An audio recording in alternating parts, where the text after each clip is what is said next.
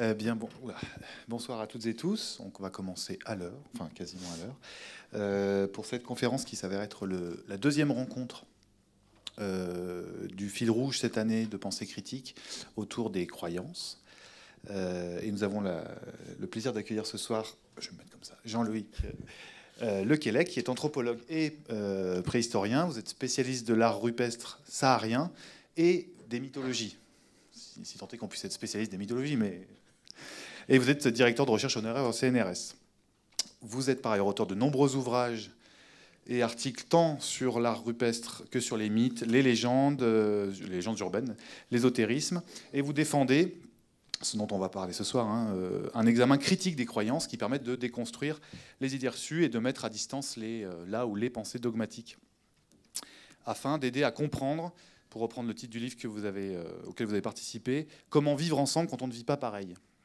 Ça, c'est le titre, donc, je le disais, d'un ouvrage collectif issu d'un colloque à Aubervilliers, euh, tenu par l'Anthropologie pour tous, auquel vous avez participé et qui visait à montrer la diversité des manières d'être au monde. Donc une démarche proprement euh, anthropologique. Le dernier ouvrage que vous avez dirigé avec, vous avez écrit avec Bernard Sergent, qui s'appelle Le Dictionnaire critique des mythologies, qui est au fond de la salle, ce qui permet de saluer notre confrère de la librairie de Citre, qui vendra un certain nombre de livres ce soir. Dictionnaire critique des mythologies, donc, qui poursuit cette ambition de, montrer la diversité des manières de, dire le monde, de, raconter le monde et d'être au monde. Donc c'est avec plaisir qu'on vous accueille ce soir, encore une fois, merci, euh, pour nous expliquer euh, tout l'avantage qu'il y aurait à étudier comment les cultures expliquent le monde et comment ces récits contribuent à écrire l'histoire euh, l'histoire humaine. Il faut que ça dure combien de temps? Une petite question.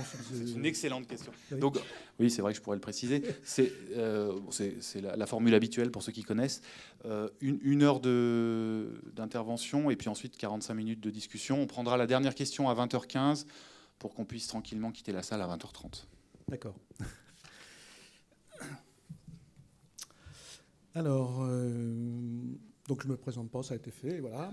Euh, je commence tout de suite. Je vais parler euh, de plusieurs choses pour aborder ces questions. Je vais parler d'anthropologie, euh, de, mythologie, de religion, de croyance. Et puis je vais utiliser un petit peu d'étymologie. Je ne suis pas étymologiste, hein, mais bon, voilà, je regarde un petit peu ce qu'en disent les vrais étymologistes. Parce que quand on a des questions complexes, euh, qu'on a vraiment du mal à aborder, euh, c'est difficile, ou euh, les gens ne sont pas d'accord, ça a l'air bien compliqué. Je trouve qu'un bon moyen, c'est de regarder l'histoire des mots, leur origine, et voilà, essayer de remonter le plus loin possible pour voir comment ça s'est passé pour ces mots-là. Euh, non pas pour faire ce que certains font, qui, euh, vous savez, il y a des gens, quand il y a une discussion comme ça, euh, un petit débat, ils vous sortent leur pistolet à étymologie et ils vous, ils vous assassinent d'un coup d'étymologie. C'est pas ça le propos. Hein. En vous disant, non, mais le vrai sens du mot, c'est celui-là. Et donc toi, ce que tu dis là, non, bon voilà, non, c'est pas c'est pas ça l'intérêt de l'étymologie, c'est pas de retrouver le vrai sens d'un terme, mais c'est de, voir que ce terme a évolué, qu'il a changé de sens, et qu'il a une histoire, et que cette histoire n'est pas sans avoir quelque chose à voir avec notre propre histoire, avec l'histoire des idées, nos idées actuelles, etc. Et donc c'est un bon moyen, c'est pas, pas pour retrouver une vérité, hein. c'est un bon moyen pour, euh, voilà, pour réfléchir, simplement. Donc euh, voilà, c'est comme ça que je vais utiliser... Euh, euh, l'étymologie. Voilà. Enfin, le peu d'étymologie euh, qu'on va euh, utiliser. Alors, je vous ai dit que j'allais parler d'anthropologie. pourquoi anthropologie bah, Parce que ce mot, tout le monde le connaît.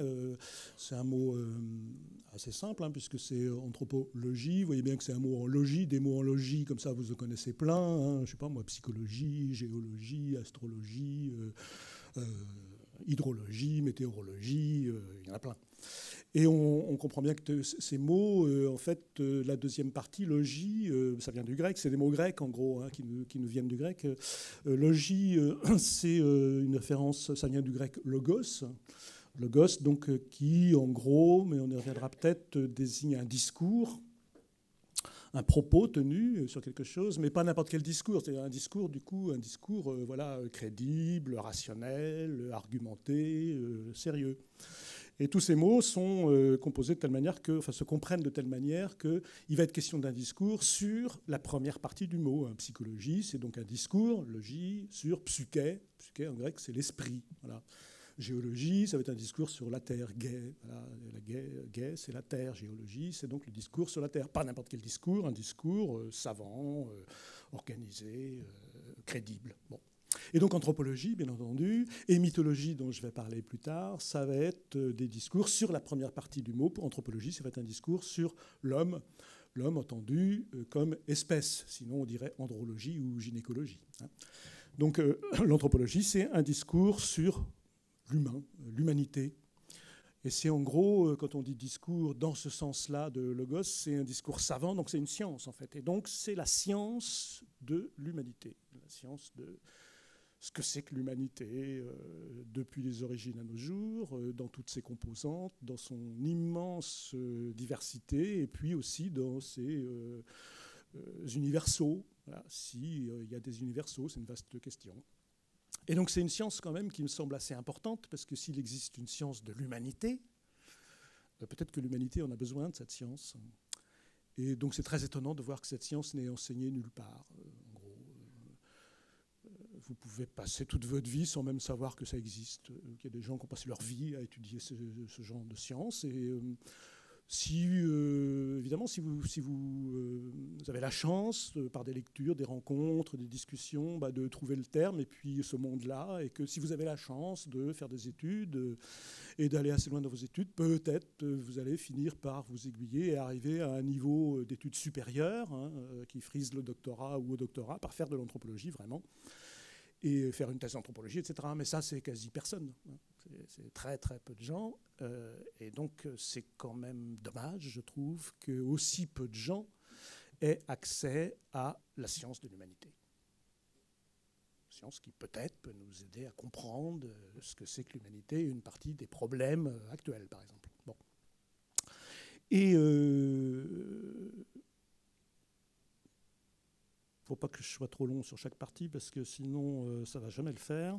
Mais quand même, en gros, je vais quand même vous dire parce que là on vient de faire un atelier où j'ai expliqué ça, mais je, vais quand même euh, le dire en, quelques mots euh, parce que justement il n'y a pas de formation là-dessus et que justement la plupart des gens ne savent pas trop comment ça s'est passé. En gros, cette science-là, elle est récente. Elle est récente parce qu'elle euh, résulte de la rencontre par l'Occident, c'est comme ça historiquement, euh, après les grandes découvertes, elle résulte de la, découverte d'autres humanités, hein, d'autres humanités que les Occidentaux euh, qui faisaient les grands voyages allaient découvrir, entre guillemets. Bien d'autres gens l'ont découverte avant eux, mais découvrir donc l'Océanie, euh, l'Amérique, euh, et puis les rivages africains, puis l'Afrique intérieure, etc. Tous ces récits des, grandes explorations ont permis donc euh, des rencontres, pas toujours avec un caractère extrêmement pacifique, disons, ni désintéressé, mais des rencontres voilà, entre humanités très différentes. Et du coup, des, plein de questions se sont posées. Et bah, au départ, on a commencé par dire que ces gens qu'on rencontrait, peut-être n'étaient pas vraiment des humains d'ailleurs, je pense, il y a eu tout un tas de. Ça a mis un certain temps pour qu'on se dise oui, oui, finalement, oui. Et, euh, ensuite, on les a qualifiés euh, pendant longtemps de naturels. C'est-à-dire des gens euh, qui sont dans, dans, le monde de la nature hein, et pas vraiment dans celui de la civilisation. Et puis on les appelle, on les a appelés sauvages et encore maintenant d'ailleurs, par exemple au Québec, les gens parlent sans penser à mal des sauvages en parlant des Amérindiens, Atikamek par exemple. Et euh, donc euh, voilà, on a rencontré des gens assez différents pour qu'on les considère comme euh, très différents de nous, au point de les considérer comme naturels alors que nous, nous serions un parangon de la culture, et comme des sauvages alors que nous serions le parangon de la civilisation. Et puis, pour faire bref, c'est resté comme ça jusque, en gros, au XVIIIe siècle, avec quelqu'un euh, qui vaut le coup de relire. Euh, c'est un monsieur qui s'appelait Charles de Brosse, qui est mort en 1777. C'était un ami de Buffon, le naturaliste. Et euh, il a écrit un livre qui s'appelle Le culte des dieux fétiches. C'était un juriste, c'était un magistrat, hein, c'était pas du tout un anthropologue évidemment, parce que ça n'existait pas. Hein. C'est un magistrat curieux, comme euh, il y avait beaucoup de gens à l'époque, hein, un esprit curieux, un peu universel. Il s'intéressait beaucoup à la géographie sans avoir voyagé lui-même. Et par exemple, c'est lui qui a inventé les termes Océanie et Austrasie. Euh, voilà, il a quand même des apports importants dans plein de domaines. Et là, il a euh, lu, comme beaucoup de gens à son époque, bah, les, les, récits de voyage des missionnaires, explorateurs en Afrique, en Amérique du Sud, en Océanie. et puis voilà, il s'est frotté à tous ces récits. Et il a été surpris en fait de s'apercevoir que ces gens, donc considérés comme des sauvages, euh, incultes, puisque justement appelés naturels, c'est bien qu'ils sont incultes, euh, et ben en fait ils, avaient des récits, euh, des mythes. Donc plus tard on verra ce que c'est qu'un mythe peut-être. pour, faire bref maintenant, des récits sur le monde qui, quand on les regardait d'un peu plus près, qui d'abord au premier regard semblaient très étranges et très bizarres, et puis ensuite en les regardant de plus près, en fait ressemblaient étonnamment à certains récits de la mythologie grecque, alors qu'ils avaient été recueillis euh, en Océanie, en Amérique du Sud, euh, chez donc les fameux sauvages. Et euh, en y regardant de plus près, il a fini par conclure que, ah, en fait, la différence prétendue entre eux et nous n'était peut-être pas si importante que ça, et que peut-être il y avait quelque chose de l'ordre d'un continuum entre toutes ces cultures, et que du coup s'ouvrait un, monde euh, de questions qu'on continue à se poser de nos jours et qui ne sont pas toutes euh, résolues. Évidemment, à son époque, c'était absolument euh, révolutionnaire. il a été très inquiété pour ses opinions. Il a publié son livre clandestinement, et il a bien fait d'ailleurs, parce que sinon, ça aurait pu lui causer de gros problèmes. Parce que son idée, c'était qu'il était tout à fait légitime, en fait, de comparer les sauvages aux civilisés. Alors qu'à l'époque, ça paraissait complètement incongru, impensable. Et ça a été la première pierre, la, première étape vers euh, l'anthropologie comparée, si on peut dire, c'est-à-dire le fait de dire, ben voilà, euh, on va regarder toutes les cultures du monde qu'on puisse connaître sans porter de jugement sur elles, simplement pour les comparer, euh, voilà, pour voir ce qui est pareil, ce qui n'est pas pareil. Et puis ensuite, il y a un autre monsieur qui est un Anglais, lui, qui s'appelle Tyler, qui a fait la même démarche, mais bon, un siècle après quand même, ce qui fait qu'entre-temps, s'était accumulé beaucoup de documentation qu'il avait lue. Et euh, il a fait le premier livre à porter le titre Anthropologie. Hein, vous pouvez le trouver d'ailleurs sur Internet, parce que maintenant beaucoup de ces documents ont été euh, numérisés et sont téléchargeables gratuitement.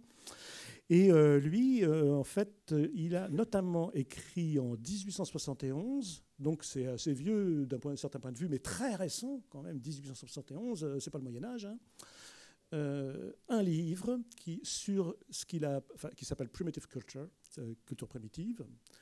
Et euh, dans ce livre, il donne la première définition de ce que nous appelons la culture.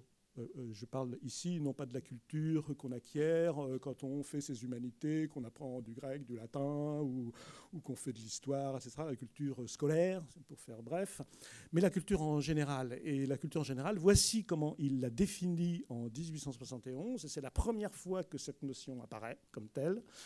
Il dit que la culture, c'est cet ensemble complexe comprenant le savoir, la croyance, l'art, la morale, la loi, la coutume et toute autre capacité ou habitude acquise par l'homme en tant que membre d'une société. Et c'est le sens du mot culture tel qu'on l'emploie maintenant quand on parle, je sais pas moi, du dialogue des cultures ou du choc des cultures, ou euh, même quand les gens disent c'est pas ma culture, etc. Euh, c'est un sens qui est donc extrêmement récent. Et donc, euh, on voit bien que la réflexion sur ces questions-là, euh, ce n'est pas, pas, quelque chose qui remonte très très loin. Et peut-être ça peut aider à comprendre aussi pourquoi c'est si peu diffusé encore, bah, par exemple à l'école, tout simplement. Alors, je vous passe, il y a beaucoup d'autres gens qui ont travaillé sur ces questions. Il y en a un quand même que dont je vais vous citer le nom. Euh, parce que lui, vous pouvez le trouver facilement, alors évidemment à la bibliothèque, mais aussi dans les librairies, qui s'appelle Fraser, F-R-A-Z-E-R. E il est connu parce qu'il euh, a, lui, euh, passé en revue l'ensemble des cultures du monde, au sens donc de Tyler. Hein. cet ensemble de lois, coutumes, croyances, etc., tout ce qui fait, tout ce qui est commun à un groupe humain particulier. Et il a fait un livre qui s'appelle Le Rameau d'Or. il a fait un, de ses livres les plus connus, c'est celui-là. Il a été traduit et édité en livre de poche en collection de bouquins. Ça fait quatre gros bouquins de quasi 1000 pages chacun. Ça fait la lecture. Et c'est rempli, enfin, c'est rempli d'histoires, de récits, de mythes, de légendes euh, du monde entier. Même si on n'y connaît rien et qu'on n'a pas envie de devenir anthropologue, c'est absolument euh, fascinant. Voilà.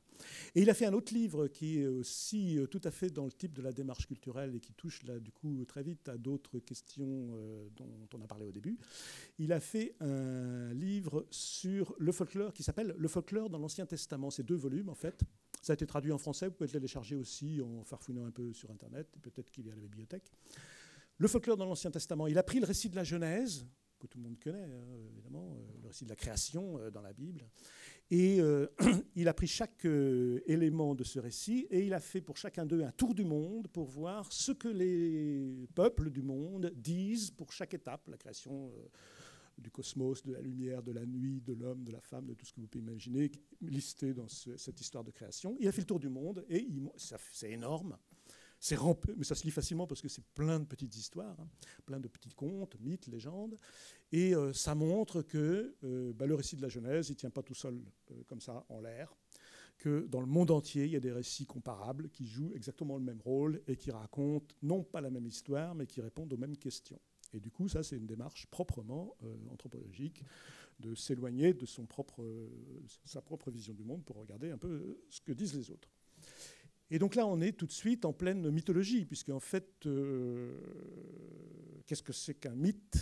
Qu'est-ce que c'est que la mythologie? Peut-être ça vaut le coup de faire là un petit peu euh, d'étymologie pour y voir clair, parce que mythe, c'est mis à toutes les sauces. Hein, euh, mythe, mythique, euh, c'est des termes qu'on connaît, hein, qu'on emploie, nous, quotidiennement, qu'on entend employer quotidiennement, mais avec des sens très différents. Hein, mythique, ça peut vouloir dire super connu, comme un film mythique, un musicien mythique, c'est super connu, dont tout le monde parle, tout le monde le connaît. ou quelqu'un dont on va dire que c'est un mytho euh, ou un mythos, c'est quelqu'un, disons, auquel on ne peut pas trop faire confiance dans ce qu'il raconte. Et puis dire, mais tout ça c'est du mythe, euh, ça c'est des mythes, tout ça, ça veut gros, en, gros, dire, mais tout ça c'est n'importe quoi, hein, c'est des histoires euh, débiles. Bon, voilà. Et donc la mythologie, bon, on n'imagine quand même pas trop que ce soit une science qui s'intéresse aux histoires débiles. Quoi. Donc peut-être qu'il y a eu un problème avec le mot mythe. Logie, évidemment, ça y est, vous avez vu que logos, c'est donc le discours. Et si on fait comme on a fait pour anthropologie, psychologie, etc., on va se dire ben, anthropo, euh, mythologie, c'est facile. Logie, c'est donc un discours savant, scientifique, argumenté, solide, crédible, sur la première partie du mot, comme on a vu pour psyché, l'esprit, psychologie, discours argumenté, savant, euh, scientifique, sur l'esprit. Bon. Et la mythologie, ça va être donc un discours argumenté, savant, sur mutos, qui en grec veut dire récit. Et donc là, il y a un petit problème peut-être, c'est qu'on a donc un, discours sur un discours, un récit sur un récit. Alors ça laisse tout de suite entendre que si le gosse est un discours argumenté, logique, savant, rationnel, ça va être un discours de ce type sur un discours d'un autre type. Donc euh, non argumenté, euh, pas très savant, euh, peut-être irrationnel logique, comme on a souvent dit. Euh. Alors, revoyons un petit peu euh, ce qu'il en est du terme. C'est un terme grec, hein, euh, dans toute cette série de vocables. Et mutos, en grec, bah, originellement, c'est simplement un récit sans, humeur, pardon, sans humeur particulière sur sa qualité véridique, croyable, pas croyable, sérieux, pas sérieux. C'est un récit. C'est un récit. Et la preuve que c'est un récit, euh, c'est que euh, en grec euh, ancien, pour désigner les fables d'Ésope, donc vous connaissez les fables d'Ésope, bon, Ésope, c'est sans doute, disons, au mieux un, auteur collectif, c'est-à-dire qu'on prête à, Ésope un recueil de fables, mais Ésope a peut-être pas existé du tout. Euh, mais en tout cas, voilà, c'est un, terme commode pour désigner un recueil de fables qui, euh, en gros, remonte au 7e siècle avant notre ère, avant l'ère commune. Eh bien, en grec, pour désigner euh, les, fables, ce que nous appelons les fables d'Ésope, on dit aisopumutoi, c'est les mythes d'Ésope. Ce qui vous montre bien que là, ce que nous appelons, nous, fables, était appelé mythes. Donc, c'est des histoires, tout simplement. Mais ce que nous appelons fable, ça vient du latin fabula, mais qui a donné aussi fabulé donc raconter des trucs. Hein, hein. Mais en fait, l'origine latine, c'est le verbe for fari qui veut dire simplement parler, point à la ligne. Une fable, c'est un récit. Et euh, sans sous-entendu a priori sur son caractère véridique ou faux, ce qui explique, euh, par exemple, que euh, dans notre XVIIIe siècle, à nous, eh bien, le terme a été utilisé pour désigner ce que nous appelons mythe. Et vous avez, au XVIIIe siècle, toute une série de petits bouquins euh, qui se trouvent parfois chez les bouquinistes, euh, euh, qui sont des dictionnaires de la fable. Ça s'appelle dictionnaire de la fable. Alors si vous trouvez un petit bouquin comme ça, ne comptez pas trouver en le feuilletant des fables de La Fontaine ou des histoires d'animaux comparables aux fables des ou aux fables de La Fontaine. Non, en général, c'est la mythologie grecque qui vous est racontée. Parce que fable, à cette époque, désignait la mythologie. Donc on voit tout de suite rien qu'en regardant comme ça les, termes, que euh, bon, c'est un peu compliqué les affaires. les termes qui nous paraissent, nous, évidents, euh, ont changé de, sens euh, assez fréquemment. Alors, un moyen d'y voir un peu plus clair, c'est de voir si, pour désigner ce qu'est un récit, parce que tout ça c'est un récit, mais une légende aussi, c'est un récit, il faudrait regarder l'origine du mot légende, legenda, ce qui doit être lu. Il euh, faudrait regarder, par exemple, pour le grec, mythos, c'est important parce que ça donne mythe et mythologie, c'est comme important. Euh, qu'est-ce qu'il y avait comme autre terme à côté, à part logos aussi, pour désigner un récit? Alors, il y en avait un autre, peut-être ça va vous surprendre, c'est plasma. Plasma, c'est un récit également. Mais c'est un récit particulier euh, parce que, et qui va nous, aider à comprendre ce que c'est qu'un mythe, du coup, parce que euh, ça vient euh, d'un verbe qui est plasso, qui veut dire façonner. C'est le, verbe qui est utilisé pour désigner le façonnage de l'argile. Hein, faire une, petite figurine en argile, c'est ce terme-là qu'on emploie. Et du coup, le plasma, c'est quelque chose qui a été façonné. Et du coup, s'agissant d'un récit, c'est un récit qui a été façonné.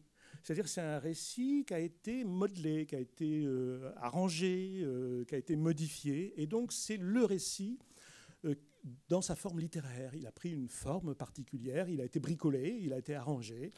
Et à ce moment-là, ça devient un récit de type conte littéraire, par exemple, s'il s'agit de conte ou mythe littérarisé.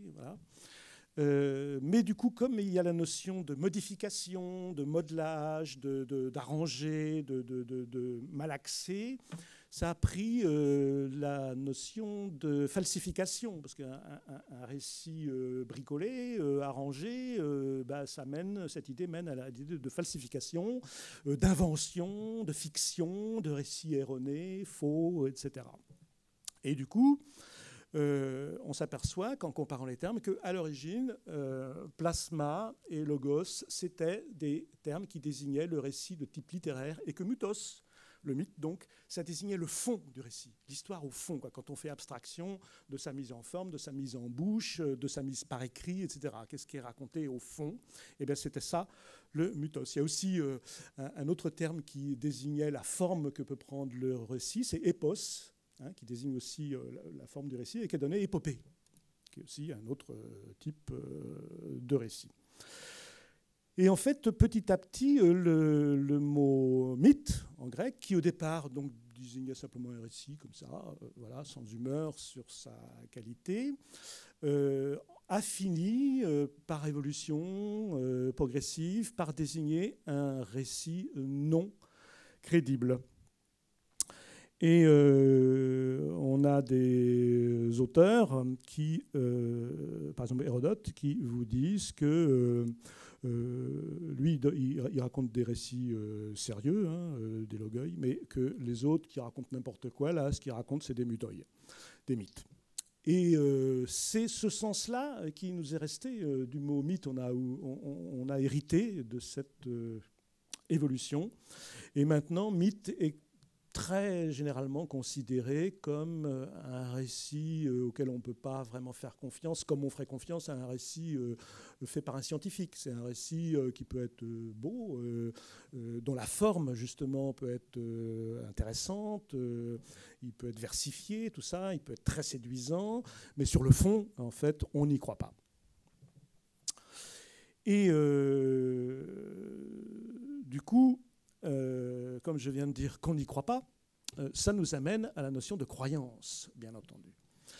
Et à une question parallèle, mais c'est presque la même, la question au fond c'est, bon, alors si je dis qu'un mythe c'est un récit, bon d'accord, et que finalement, euh, nous, on en est arrivé à dire que c'est un récit euh, pas trop croyable, auquel on ne peut pas trop faire confiance, comme on ferait confiance à un discours scientifique, donc à un discours qui peut être complètement inventé, qui peut-être n'a rien à voir avec la réalité vraie, n'est-ce pas?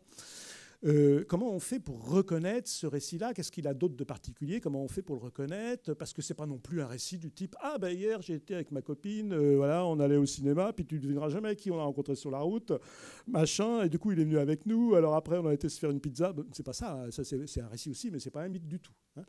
Donc ce qu'on a coutume d'appeler euh, nous maintenant comme mythe, c'est pas n'importe quel type de récit, c'est un type de récit particulier. C'est des récits qui nous parle très souvent, très généralement, d'origine. Et d'origine euh, de choses importantes, euh, l'origine de choses sur lesquelles toutes les populations du monde se posent les mêmes questions, euh, du genre, comme on dit sous forme de boutade, voilà, pourquoi y a-t-il quelque chose plutôt que rien hein Mais en gros, voilà, le monde existe, on est dans un monde qu'on voit là, comme ça. Est-ce qu'il a toujours existé? Euh, est-ce que ça a changé? Euh, Est-ce qu'il y a quelqu'un, euh, quelque chose, ou je ne sais pas quoi, moi, qui l'aurait créé à un moment donné? Avant, il n'y avait rien, puis maintenant, il y a tout ça. ben voilà, il y a des récits qui vont répondre à ça. Et puis ce monde est ce qu'il est, mais dessus il y a des humains. Hein, il suffit de voir, il y a des hommes puis des femmes. Hein, ben voilà. Donc ben depuis toujours ou depuis un certain temps. Et à ce moment-là, depuis quand? Et puis est-ce qu'ils ont été créés? Ou non Et si oui, bah, par qui euh, comment, tout ça commence euh. Et puis en plus, ces humains dont nous faisons partie, nous mourrons apparemment. il semble que tous devions mourir. Donc qu'est-ce qui se passe après? Est-ce qu'il y a d'autres mondes que celui-là dans lesquels on, pourra aller, un ou plusieurs mondes voilà, Comment ça va se passer, tout ça Eh bien, les récits qui répondent à ce genre d'interrogation, c'est ça qu'on appelle les mythes. Et ils sont très souvent de la forme suivante, c'est-à-dire ils vous expliquent souvent que, alors je parlais de l'origine de la mort, euh, bon, euh, euh, bah, nous sommes mortels, ah, c'est quand même pas terrible quoi, comme situation. alors on peut se dire, du coup, ça aurait pu être autrement quand même, quoi. Enfin, on préférerait ne pas l'être, quoi. Bon, et puis on, tombe malade, par exemple aussi. Bon, on préférerait pas tomber malade, évidemment. On dit un vieux, puis impotent, infirme, tout ça. On préférerait être toujours jeune et en pleine santé, bon, tout ça. Pourquoi c'est comme ça? C'est pas juste. Donc il y a des récits qui expliquent pourquoi c'est comme ça dans toutes les cultures. Euh, et c'est des récits, ce, sont ceux-là qu'on va appeler des mythes. Et ces récits sont souvent de la forme suivante, très généralement de la forme suivante, c'est des récits qui racontent une rupture, c'est-à-dire qui vous disent, bah oui, d'accord, c'est sûr que maintenant on meurt, les animaux aussi d'ailleurs meurent, tous les êtres vivants meurent, hein. Mais ça n'a pas toujours été comme ça. À l'origine, parce que les mythes vous parlent toujours de l'origine, hein, in illo tempore, dans un temps, euh, bah, on ne sait pas quand en fait, mais euh, voilà, il y a très longtemps, tellement longtemps qu'on ne sait plus quand. Mais en tout cas, voilà, à l'origine, bah, c'était pas comme ça. Voilà. Euh, les hommes mouraient, d'accord, ou, alors ils, ne mouraient pas. On vous dit, non, non, mais autrefois, les humains étaient éternels. Hein. Voilà. Vous pouvez vivre 900 ans, 1000 ans, 2000, pas de problème. Ou, ou ils mouraient, mais ça durait pas longtemps. Hein. Euh, voilà, ça durait le temps d'une lunaison, par exemple. Vous explique, voilà, une lunaison, et hop, euh, si on touchait pas au cadavre, on faisait rien de spécial, il fallait surtout pas y toucher. Hop, il revenait à la vie, puis c'était reparti pour un tour, pas, trop un problème la mort, quoi. Voilà. Bon. Et, donc, le mythe vous raconte, tous ces mythes vous racontent, une rupture, il une rupture est survenue. On voit bien que c'est pas comme ça maintenant. Et donc, il s'est passé quelque chose. Et le mythe vous raconte ce qui s'est passé. Vous dit un jour. Et là, on vous raconte une histoire. On vous dit un jour, il s'est passé tel truc une femme a fait ceci, un homme a fait cela, un animal, bref.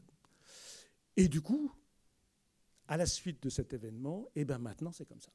Tous les mythes vous racontent des histoires de ce type. La Bible vous raconte des histoires de type. Autrefois c'était comme ça, c'est passé un truc qui aurait pu ne pas se passer. Hein. Et maintenant c'est comme ça. Et c'est comme ça, et c'est comme ça, et c'est comme ça, et c'est comme ça. Et euh, le mythe jamais n'évoque la possibilité que bah, qu'il y ait un autre événement à suivre, et puis que du coup ça va redevenir comme autrefois. Non, jamais. C'est comme ça il faut l'accepter, euh, c'est la vie, il faut vous faire une euh, raison. Et tous ces récits, évidemment, qui sont tous différents les uns des autres, qui ont tous quand même le même schéma, mais euh, donc quand je dis le mythe, il, s'adresse à ce genre de questions et il apporte une réponse. les réponses sont toujours un peu les mêmes, mais elles sont toutes différentes dans la mesure où quand je dis un jour il s'est passé c'est là que ça change. C'est-à-dire que selon les cultures, ce n'est pas le même événement qui fait que maintenant nous sommes mortels. Euh, bon, là, vous connaissez l'histoire dans la Bible, euh, certaines histoires de serpents et d'arbres de la connaissance. Bon, voilà. Mais dans d'autres cultures, on va vous dire que, je vous en donne juste un comme ça, mais il ne faut pas que je commence parce que sinon, évidemment, il y en a des milliers. Hein, euh. mais juste comme ça, autrefois, les humains ben, on ne savait pas, Dieu qui les a créés ne savait pas trop en ce qu'il fallait faire sur cette question-là de la mort. Parce que c'est, on peut en débattre. Hein. Si les humains sont immortels, ils vont se multiplier, il va y en avoir de plus en plus, puis la Terre ne va pas pouvoir les supporter, ça va être trop lourd à un moment donné. Donc peut-être que ce serait mieux qu'ils soient mortels. Mais en même temps, s'ils sont mortels, bon, c'est quand même pas sympa pour eux. Ça, c'est pas évident. Mettez-vous à la place de Dieu, c'est pas facile. Bon, mais à un moment donné, euh, ils décident, et ils décident qu'ils euh, seront immortels. Et alors, euh, il faut l'annoncer aux humains, parce que évidemment Dieu ne côtoie pas les humains, il est quelque part. Et donc il va euh, envoyer un messager pour euh, dire aux humains, pas d'inquiétude, tout va bien, vous êtes immortels. Et le message, c'est en fait celui-ci, c'est de dire, vous mourrez comme la lune, périodiquement, mais comme la lune, vous renaîtrez. Et donc il demande aux lièvres d'aller porter le message euh, aux humains. Et lièvre part, et puis comme vous connaissez quelques fables, vous savez que le lièvre, quand il part, en fait, il est souvent distrait, il voit des trucs qui sentent bon, il commence à manger des trucs, tout ça, il folâtre un peu et tout, il prend son temps, et d'où le message, le message, euh, voilà. Puis euh, en même temps, il a une cervelle de moineau, si je peux dire, le lièvre, et donc il n'est pas sûr de se rappeler bien du message, donc il se dit, oui, alors le truc, c'est la lune, qu'est-ce qu'il m'a dit déjà, la lune, le truc, vous mourrez. Il retrouve un autre truc qui sent bon, tout ça, bon voilà, et il finit par complètement se mélanger les pinceaux avec le message. Il se rappelle plus du tout en fait, voilà. Puis il arrive finalement, euh, super en retard, et puis il dit oui, alors oui, j'ai un message, euh, en fait euh, oui. Alors comme la lune, vous mourrez, mais contrairement à la lune, vous resterez mort. Et je pense que c'est ça le truc, ça doit être ça. voilà. Et donc, mais c'est dit, c'est dit. Ah, ce qui est dit est dit.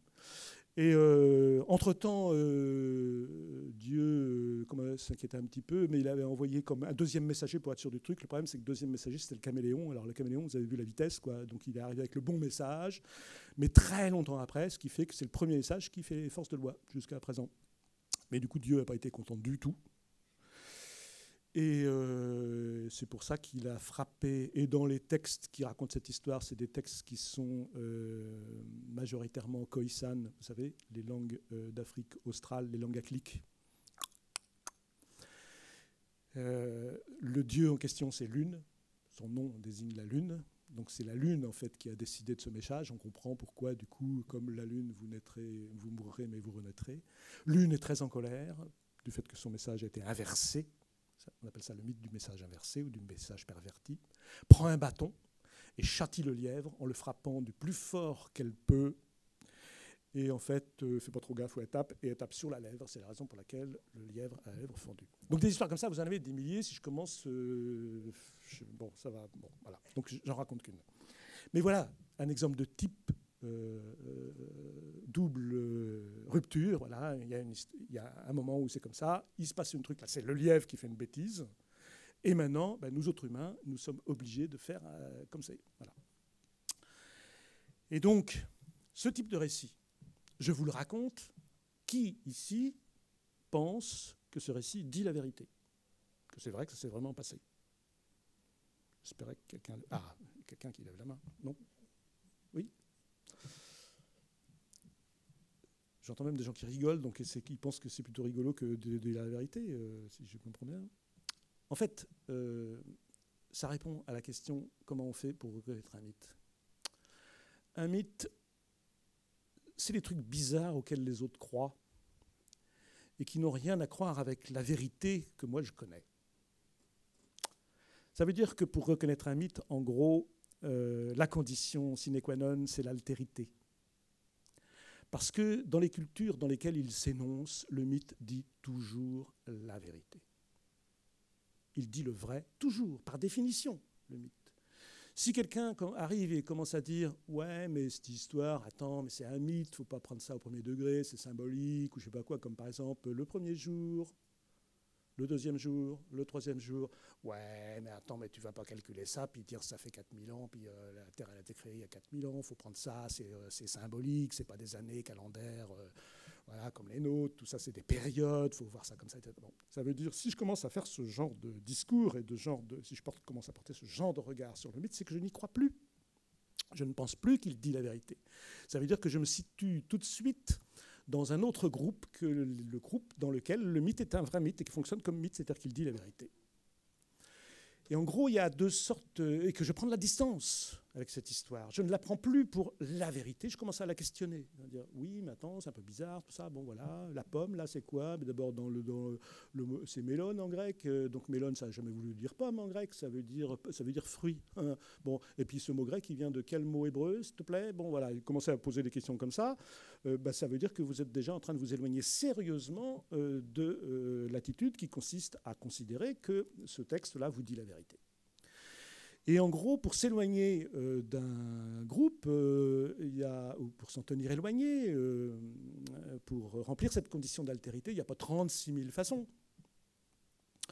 Vous prenez de la distance, et il n'y a pas 36 000 types de distance possibles. Il y a la distance temporelle, et puis il y a la distance géographique.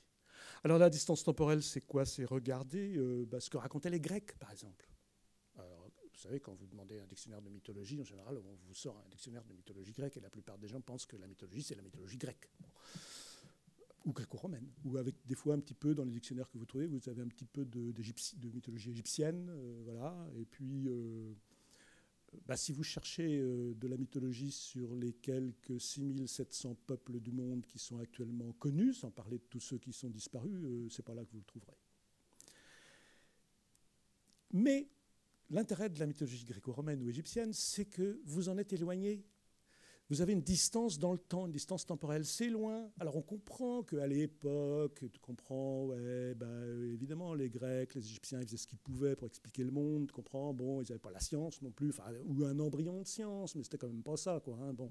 Et donc du coup, bon, voilà, c'était une tentative, c'était une pré-science, hein, une tentative d'explication du monde. Fraser, par exemple, dont je vous parlais tout à l'heure, le Ramodeur et puis les deux bouquins là, c'est ce qu'il dit. Il dit que la mythologie, c'est une pré-science. Hein, c'est c'est une tentative d'explication du monde avant que la science n'y arrive vraiment. Donc c'est bah, pas mal, mais c'est pas réussi. Et euh, donc c'est voilà, mais c'est la distance euh, temporelle qui vous permet euh, de voir ça. Et alors du coup là, comme je parle des Grecs, j'en profite pour dire ça. ça a vite posé des gros problèmes au temps de Fraser parce que les Grecs étaient considérés encore. Il y a encore des gens qui sont capables de parler de miracles grecs, par exemple, ce qui est une ânerie. Hein. Euh, mais les Grecs, ça fascine parce que c'est le parangon de la, de la civilisation raffinée, euh, et puis euh, quand même la philosophie, quoi c'est eux qui ont amené la philosophie, c'est eux qui ont introduit euh, voilà, la réflexion rationnelle, tout ça, Aristote, les sciences naturelles, enfin la science, quoi. Bon, voilà, tout simplement. Hein, euh, bon. Et en même temps, euh, ces gens-là racontaient ce genre d'âneries que vous pouvez lire dans, tous les, leur mythologie, là. C'est n'importe quoi, les histoires. Enfin, franchement, qui peut croire des âneries pareilles, quoi? C'est pas possible, quoi. C'est vraiment n'importe quoi histoire de coucherie abominable, d'inceste, de massacre et tout. Et puis euh, encore, ça, c'est pas rien, c'est même pas le pire, quoi. Mais enfin, dès qu'on regarde un peu la création du monde et tout ça, c'est juste n'importe quoi. Comment c'était possible Comment c'est possible Se demandait-on au temps de Fraser, donc euh, euh, à cheval sur le 19e, début du 20e siècle, encore. Hein. comment c'est possible que des gens aussi, le parangon de l'intelligence et de la rationalité, aient pu croire des âneries pareilles, D'où la question, la fameuse question, les, Grecs ont-ils cru à leur mythe hein? Eh ben, euh, une réponse a été de dire ah oui, mais c'est parce que ils sont sur un, c'est une étape évolutive, vous comprenez? Il y avait les sauvages, hein, euh, les, naturels dont je parlais plus tôt. Hein, donc eux là, ils sont quand même un peu au bas de l'échelle. Et donc eux, bah, ils ont des explications du monde qui sont euh, élémentaires, voilà, quand ils en ont. Et puis alors là, du coup, c'est pas terrible. nous, évidemment, on a la science, c'est pas pareil. Évidemment, on va quand même pas tout confondre. Nous, on a la science. Euh, on connaît la vraie euh, explication du monde, hein, pas de problème. Euh, mais c'est pas venu comme ça. Il y a tout un cheminement et les Grecs sont partis de ce, font partie de ce cheminement. C'est une étape, mais alors ils se trouvent à un endroit du monde, de l'histoire de l'humanité, avec un pied du côté des naturels et puis un pied du côté de la civilisation et de la culture et de ce que nous sommes devenus, nous quand même, un modèle universel. Et donc, voilà, c'était un moyen de s'en tirer, mais c'est un moyen qui tient absolument pas du tout la route. Je n'ai pas le temps d'expliquer tout ça, on pourra en reparler après. Mais en tout cas, je disais ça parce que là, on a la distance temporelle, mais il y a la distance géographique. Si vous regardez ce que raconte euh, les, les euh, qui a étudié euh, Lévi-Strauss ou les Samo qui a étudié Françoise Héritier, si vous leur demandez ce qu'ils racontent sur l'origine du monde, de l'homme, de la mort, ça, c'est aussi du grand n'importe quoi. Qui peut croire des trucs pareils? Mais personne, évidemment. Hein. On voit bien que c'est de la mythologie. Pourquoi? Parce que vous avez la distance, vous avez une altérité telle que vous voilà, vous ne faites pas partie du tout de la même culture, vous voyez bien que vous, vous avez une autre approche complètement différente, vous voyez bien que c'est complètement différent, et que vous, vous connaissez la vérité, mais eux, évidemment, ils font ce qu'ils peuvent et ils racontent ça. Bon. Dans les deux fois, dans les deux cas, c'est une question d'altérité. Et l'altérité, c'est la condition sine qua non pour reconnaître les mythes. Ce qui veut dire ceci, c'est que c'est très facile de reconnaître les mythes des autres. La mythologie grecque, il suffit d'un petit coup d'œil, on voit tout de suite si c'est des mythes ou pas, hein, ce qui racontent les textes. Égyptiennes, tout ça, et dans les récits de voyageurs et d'explorateurs et d'ethnologues aussi, c'est très facile, quoi. Mais parce qu'on a la distance. Là où c'est difficile, c'est qu'il existe un peuple dans le monde avec lequel nous n'avons aucune distance, ni temporelle, ni géographique, c'est nous. Et donc reconnaître nos propres mythes, alors là, surtout si on sait et si on admet que le mythe dit toujours la vérité pour le groupe dans lequel il s'énonce. Là, ça devient difficile. Parce qu'il faut en sortir du groupe pour pouvoir reconnaître que c'est un mythe. Et donc on est du coup à confronter à cette histoire de croyance. Les mythes, donc, qui sont les récits dont j'ai parlé, avec les critères d'identification dont j'ai parlé, sont des récits, bah, ah, du coup, pour mettre tout le monde d'accord et fâcher personne, on va dire, c'est des récits auxquels on peut croire, ou certains croient, et d'autres non. Voilà. Euh, dans, les, dans, les, dans les cultures dans lesquelles ils s'énoncent, ils disent la vérité, tout le monde y croit, mais voilà. Et puis moi qui ne suis pas de cette culture-là, ou qui vois les choses différemment, qui est une autre culture, j'y crois pas. Voilà crois pas que Zeus, un jour, a fait. Euh, voilà, je ne crois même pas qu'il existe, qu'il n'a jamais existé. J'y crois pas, tout simplement. Et donc, on est là, avec une question redoutable, qui est celui de la croyance. Et on parle souvent des croyances, mais généralement aussi, quand on parle des croyances, c'est celle des autres. Les gens qui ont des croyances, euh, c'est qu'ils croient des trucs bizarres, auxquels moi je ne crois pas. Hein. Sinon, je ne parlerai pas de croyances à leur propos.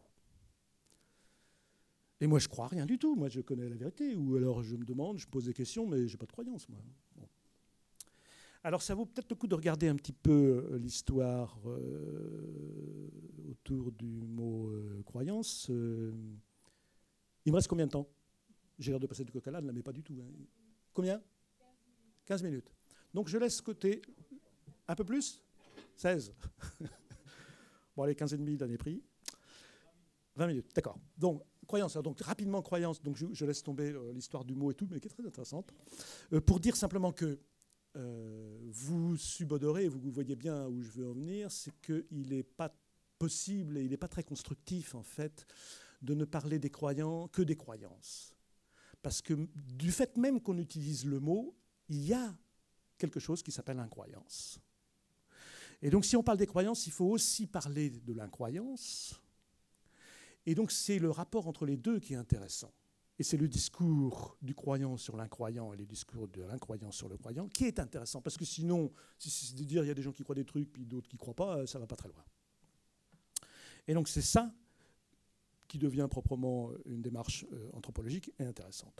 Et donc je saute parce qu'il n'y aura pas le temps, parce que là quand même je veux vous parler un peu de ça. Si les questions de croyance, eh ben, très vite il peut être question, et souvent les gens confondent les deux de religion. Ça peut être synonyme même. Hein.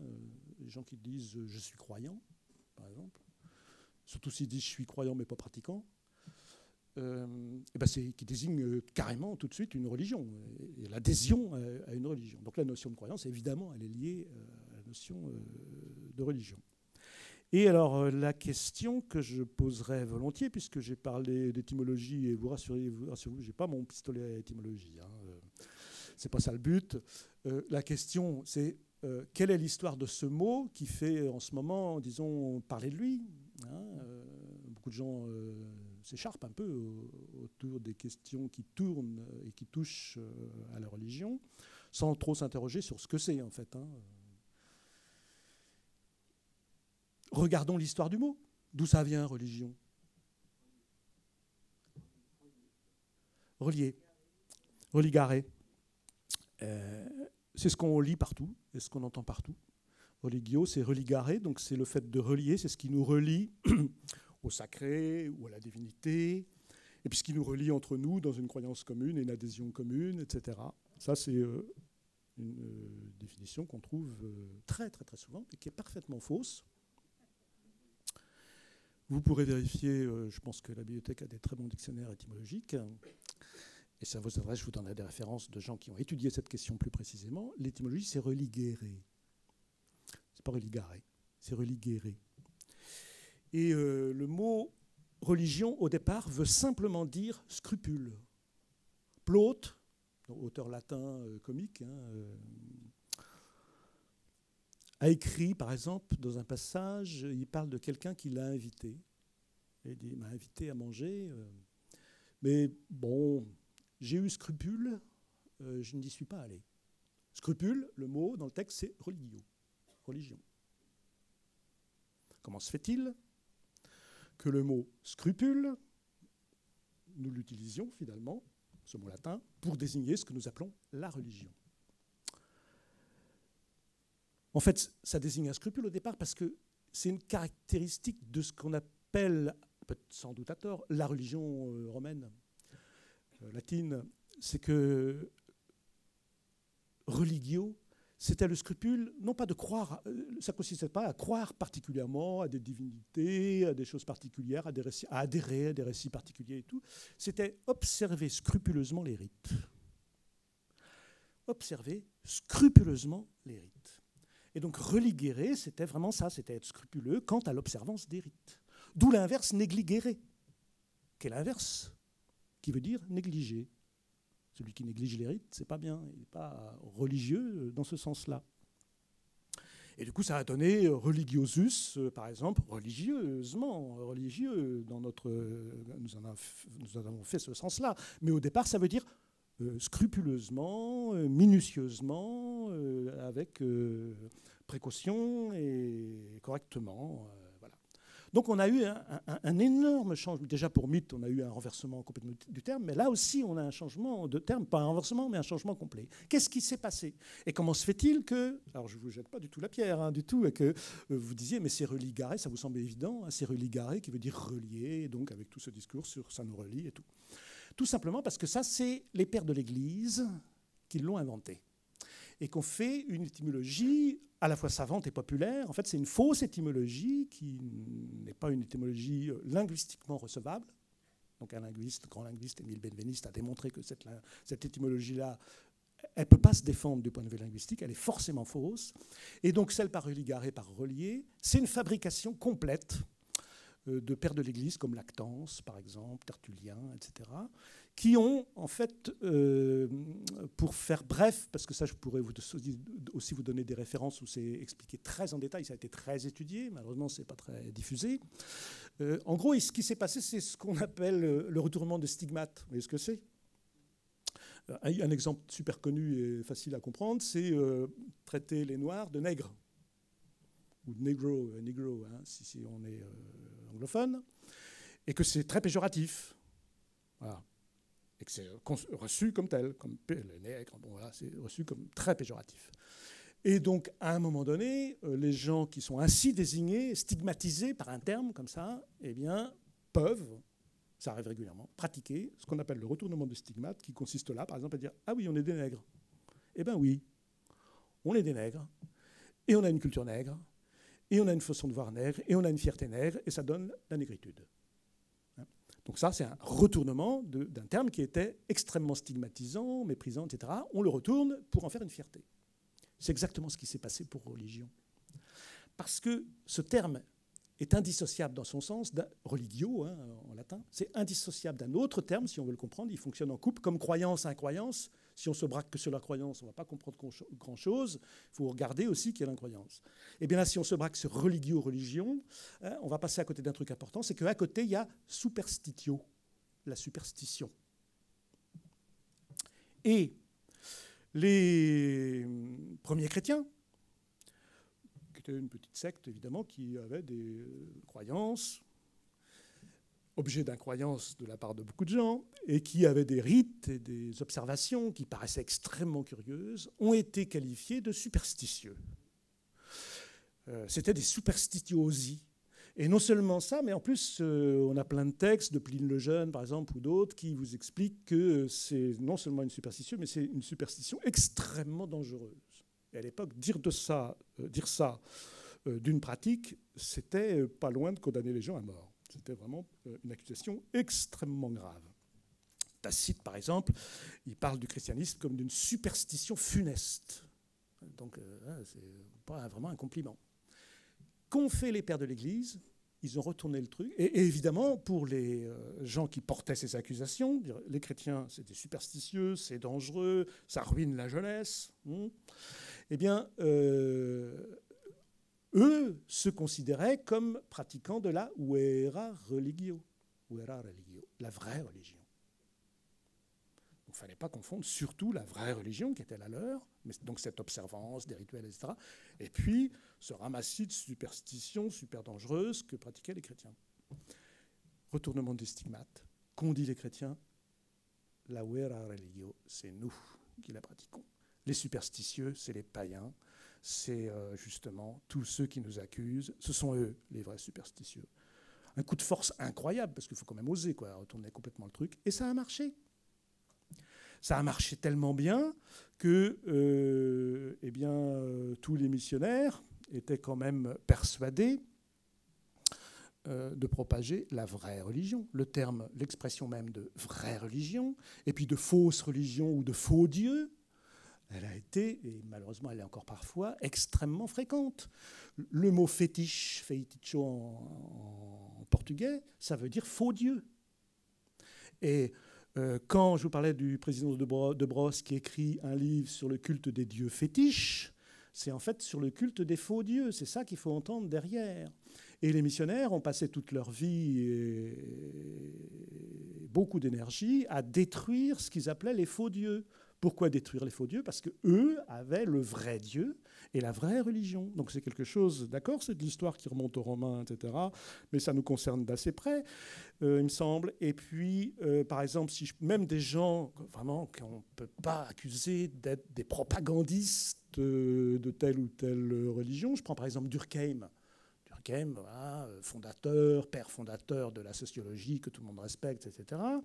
Euh, quand il étudiait, euh, il a beaucoup étudié, par exemple, les, pratiques rituelles et les mythes d'Australie ou d'Amérique du Nord, eh bien, il opposait, je cite là, la magie puérile des Australiens et des Iroquois à la vraie religion qui se trouve au plus haut point possible de l'évolution.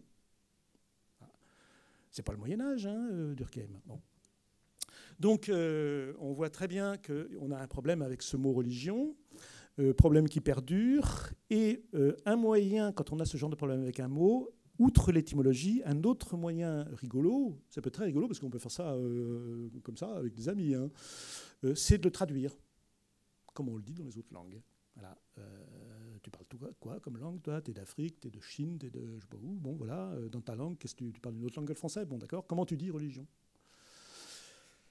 Eh bien, on s'aperçoit que dans l'immense majorité des langues du monde, il n'y a pas de mot pour religion. Ou quand il y en a un, il vient du latin, parce qu'il était emprunté, parce que les, les, missionnaires, quand même, ils ont beaucoup voyagé, ces gens-là, hein. ils ont été un peu partout, et ils ont diffusé avec le christianisme, disons, tout le kit complet, quoi, avec le vocabulaire. Et euh, les gens, ils n'ont pas toujours trouvé ben, euh, un mot dans la langue. on leur doit beaucoup de dictionnaires de langue hein, et de grammaire, de langue vernaculaire, des, gens qu'ils allaient, auxquels ils allaient faire découvrir la vraie foi. mais très souvent, malgré leur bonne connaissance de la langue, hein, ils n'ont pas trouvé dans la langue un mot pour dire vraiment religion.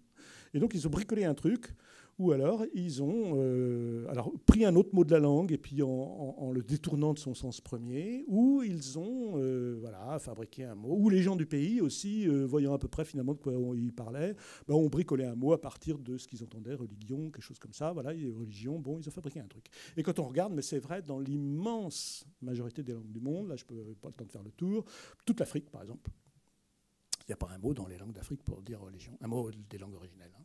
C'est un concept complètement introduit. Euh, les langues d'Asie, c'est pareil. Ah, les gens disent religion, évidemment. Il ne faut pas me faire dire ce que je ne dis pas. Hein. C'est que si on leur demande de traduire religion, ils vont utiliser un mot. Hein. Mais il faut regarder quel mot ils utilisent. Hein. Même en arabe, din. que veut dire din réellement? Ça ne veut pas dire religion. Maintenant, oui, les gens l'utilisent comme ça. Mais ça veut dire jugement.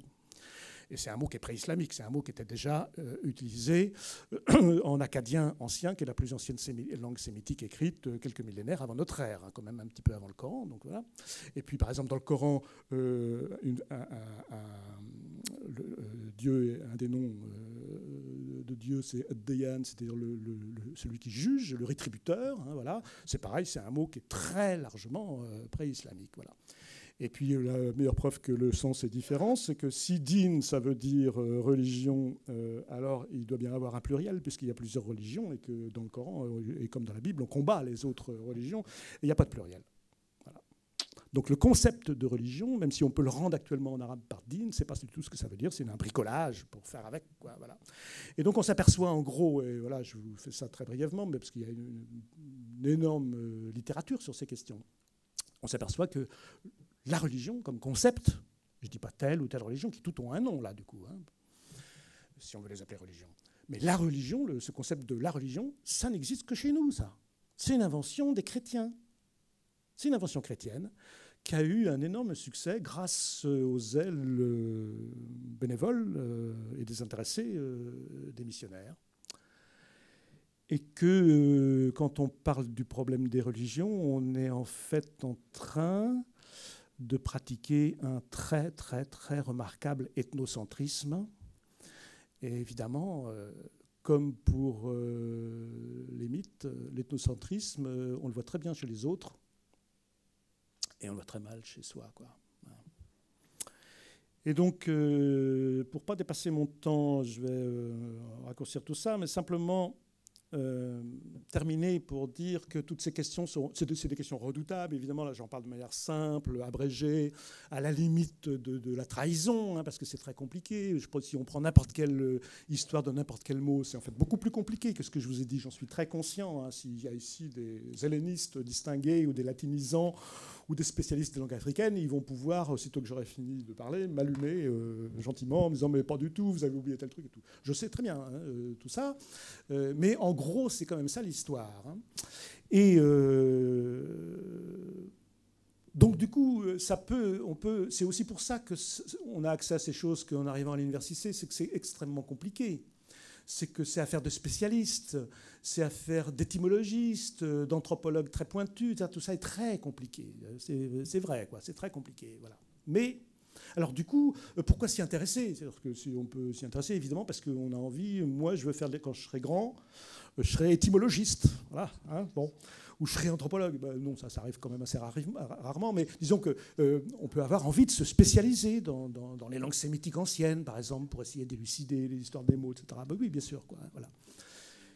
Mais est-ce que c'est la seule raison euh, possible pour s'intéresser à ces questions? Je ne crois pas. Moi, je crois que tout le monde devrait s'y intéresser. C'est pour ça que je pense que l'anthropologie, je propose, et avec quelques amis, euh, quelque chose qui s'appelle l'anthropologie pour tous, c'est-à-dire que dès l'école primaire, on devrait être initié à ces choses-là et à l'anthropologie au sens large. Voilà, pas pour former des anthropologues, ni en ayant la prétention que les gamins ou les profs même vont devenir anthropologues. Mais non. Mais si on apprend à, compter et à faire, on fait des mathématiques à l'école, c'est pas pour, pour fabriquer des générations de mathématiciens. Si on fait de la physique au collège et au lycée, c'est pas pour former des physiciens. Et si on fait de l'histoire, c'est pas pour former des historiens. Donc on peut. Puis si on fait du français, c'est pas pour former des, prix Nobel de littérature. Donc si on, peut très bien imaginer qu'on va faire de l'anthropologie, pas pour former des anthropologues, mais simplement parce que tout ce que je viens de dire, quoi que vous en pensiez, si vous, vous avez tout à fait le droit de ne pas être d'accord avec des trucs que j'ai dit, etc. Tout ça, c'est quand même utile pour réfléchir sur le monde actuel. C'est pas qu'une histoire d'érudition euh, limité, euh, spécialisé pour des gens qui ont eu la chance de faire des longues études de doctorat et puis qui se spécialisent là-dedans et puis qui, euh, voilà, qui font des livres impossibles à lire quoi, pour la plupart des gens, et perdus dans les rayons des bibliothèques, presque inaccessibles pour la plupart des gens, vraiment. Quoi. Et, je parle y compris pour moi, parce qu'il y a plein de trucs là-dedans, moi je ne comprends rien. Quoi, hein. bon. Je crois que vraiment il y aurait tout intérêt à ce que tout le monde fasse un peu d'anthropologie, au moins pour ce qui est de la démarche. La démarche, c'est tout simplement, c'est très simple en fait, c'est sortir, par, trouver des moyens. Alors pas forcément aller passer euh, trois ans chez les Bororo ou chez les Barouillas, hein, mais trouver un moyen de sortir de sa propre culture hein, et pour reconsidérer la sienne avec un autre regard. C'est euh, ce regard éloigné dont parle Lévi-Strauss, c'est-à-dire faire un pas de côté, faire un détour pour retourner à sa propre culture et élucider des choses qui, sans ça, nous seraient complètement invisibles à jamais. C'est ça la démarche euh, anthropologique. L'anthropologue, c'est celui qui part dans un pays lointain pour apprendre une autre langue, euh, découvrir toute une autre culture, s'en imprégner, revenir chez lui, expliquer ça, faire des livres, etc. Oui, c'est ça l'anthropologue. Mais maintenant, il n'y a plus trop besoin, euh, ça dépend où on habite, mais quand même, en beaucoup d'endroits, il n'y a plus besoin d'aller chez les Barouillas pour rencontrer d'autres cultures complètement différentes de la sienne et des gens qui ont pour vérité des vérités complètement différentes de la nôtre.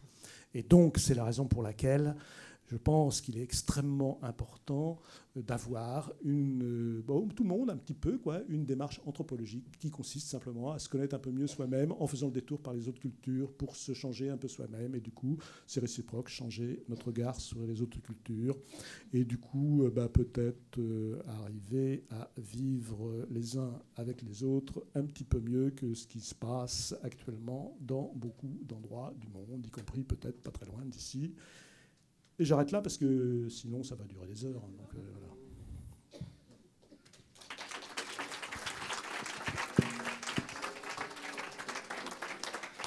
Eh bien, merci beaucoup pour cet exposé très clair et très, vivant.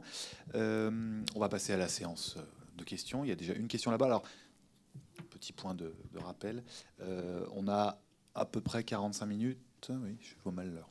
Euh, on essaye de prendre une seule fois la parole et de ne pas être trop long pour que l'ensemble des gens puissent poser des questions euh, en fonction des demandes. Donc il y a une question là-bas en haut.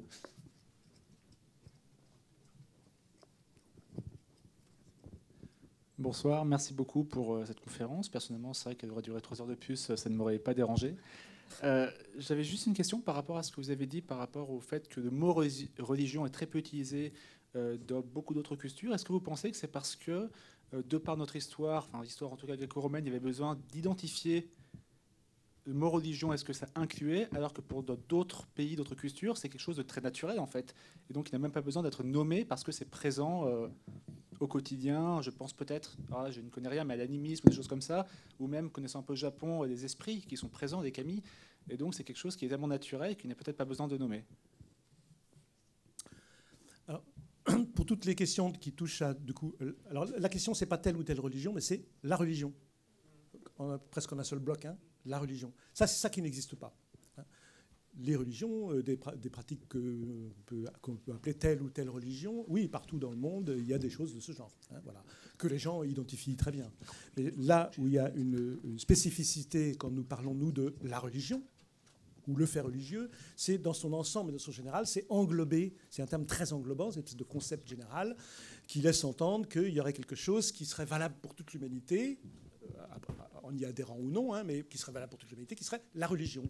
Et du coup, on va aller s'adresser à des peuples dans le monde euh, et, on va leur parler de la religion ou voir quelle est leur attitude sur la religion, qui, sont, qui est quelque chose qui leur est complètement étranger. c'est ça, si, j'arrive, si ça précise euh, ce que je voulais dire. C'est le concept dans son ensemble, hein, comme euh, la religion.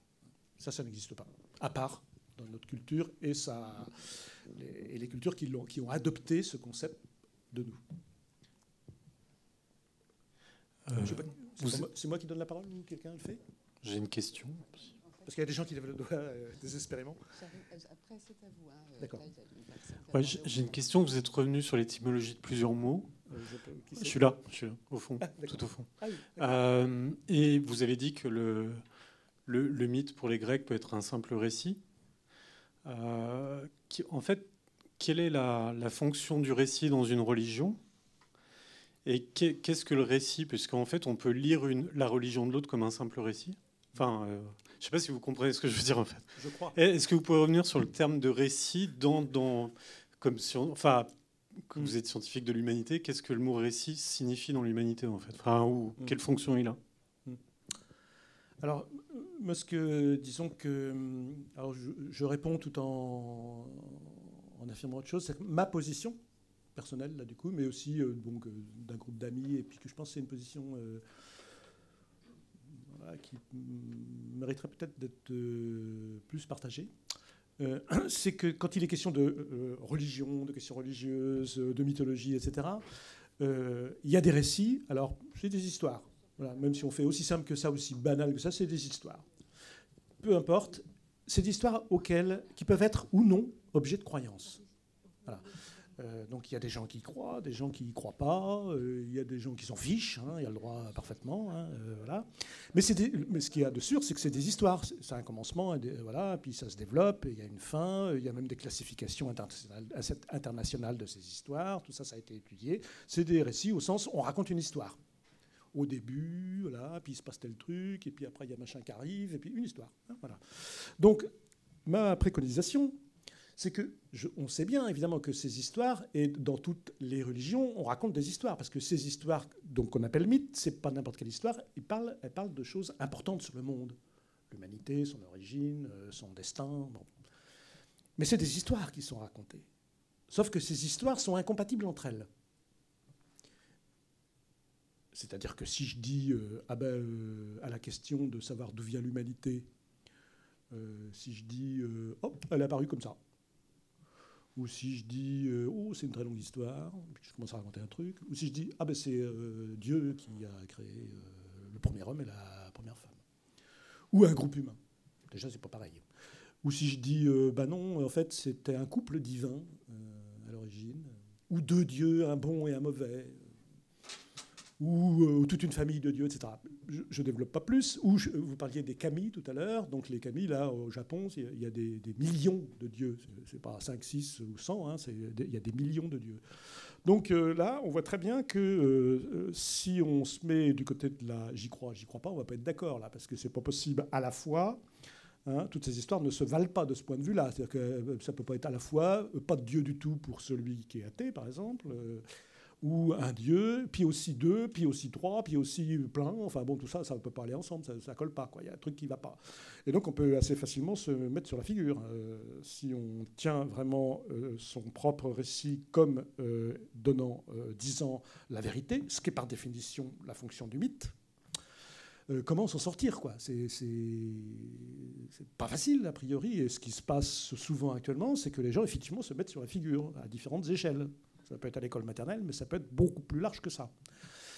Et on voit bien aussi que quand les gens ont un récit euh, de ce type important, si c'est pour expliquer pourquoi telle plante a la feuille de telle forme, puis j'ai une histoire, un mythe pour raconter ça, Bon, euh, c'est pas inquiétant, euh, on peut même l'emprunter, euh, c'est rigolo pour les enfants, tout ça, ça aide à mémoriser l'identification des plantes ou des oiseaux et tout ça. Bon, d'accord, les mythes étiologiques, on appelle ça. Hein. Ok, c'est pas grave. Mais quand on parle de l'origine de l'humanité, attention là, c'est plus trop n'importe quoi. Les gens qui ont eu une histoire là-dessus, ils tiennent pas à en changer, généralement. Et puis, ils n'ont pas spécialement envie d'emprunter celle du voisin. Ils n'ont pas non plus envie qu'on leur dise mais ton histoire est complètement débile, c'est pas du tout ça qui s'est passé, moi je vais te dire la vérité ça ne marche pas. Donc que faire? C'est un grand problème euh, actuellement, il me semble. Enfin, pas le seul, mais c'est quand même un problème dont on entend beaucoup parler. Que faire? Moi, je pense qu'il y a un truc très simple. C'est de dire, bah, écoute, euh, voilà, euh, ce qu'on va faire, c'est qu'on va s'en fiche complètement. C'est pas que c'est pas important, hein, c'est pas que c'est pas intéressant, mais si on veut en discuter, pour en discuter, on va s'en fiche complètement. C'est-à-dire qu'on va laisser de côté cette question de j'y crois, j'y crois pas. On sait bien, d'accord, on le sait, ça c'est, on a vu, bon d'accord, c'est des histoires, puis il y a des gens qui y croient, puis des gens qui y croient pas, bon d'accord. Bon, ben, une fois qu'on a, dit ça, euh, ça va, basta. Maintenant, qu'est-ce qu'elles disent vraiment les histoires? C'est ça qu'on peut regarder.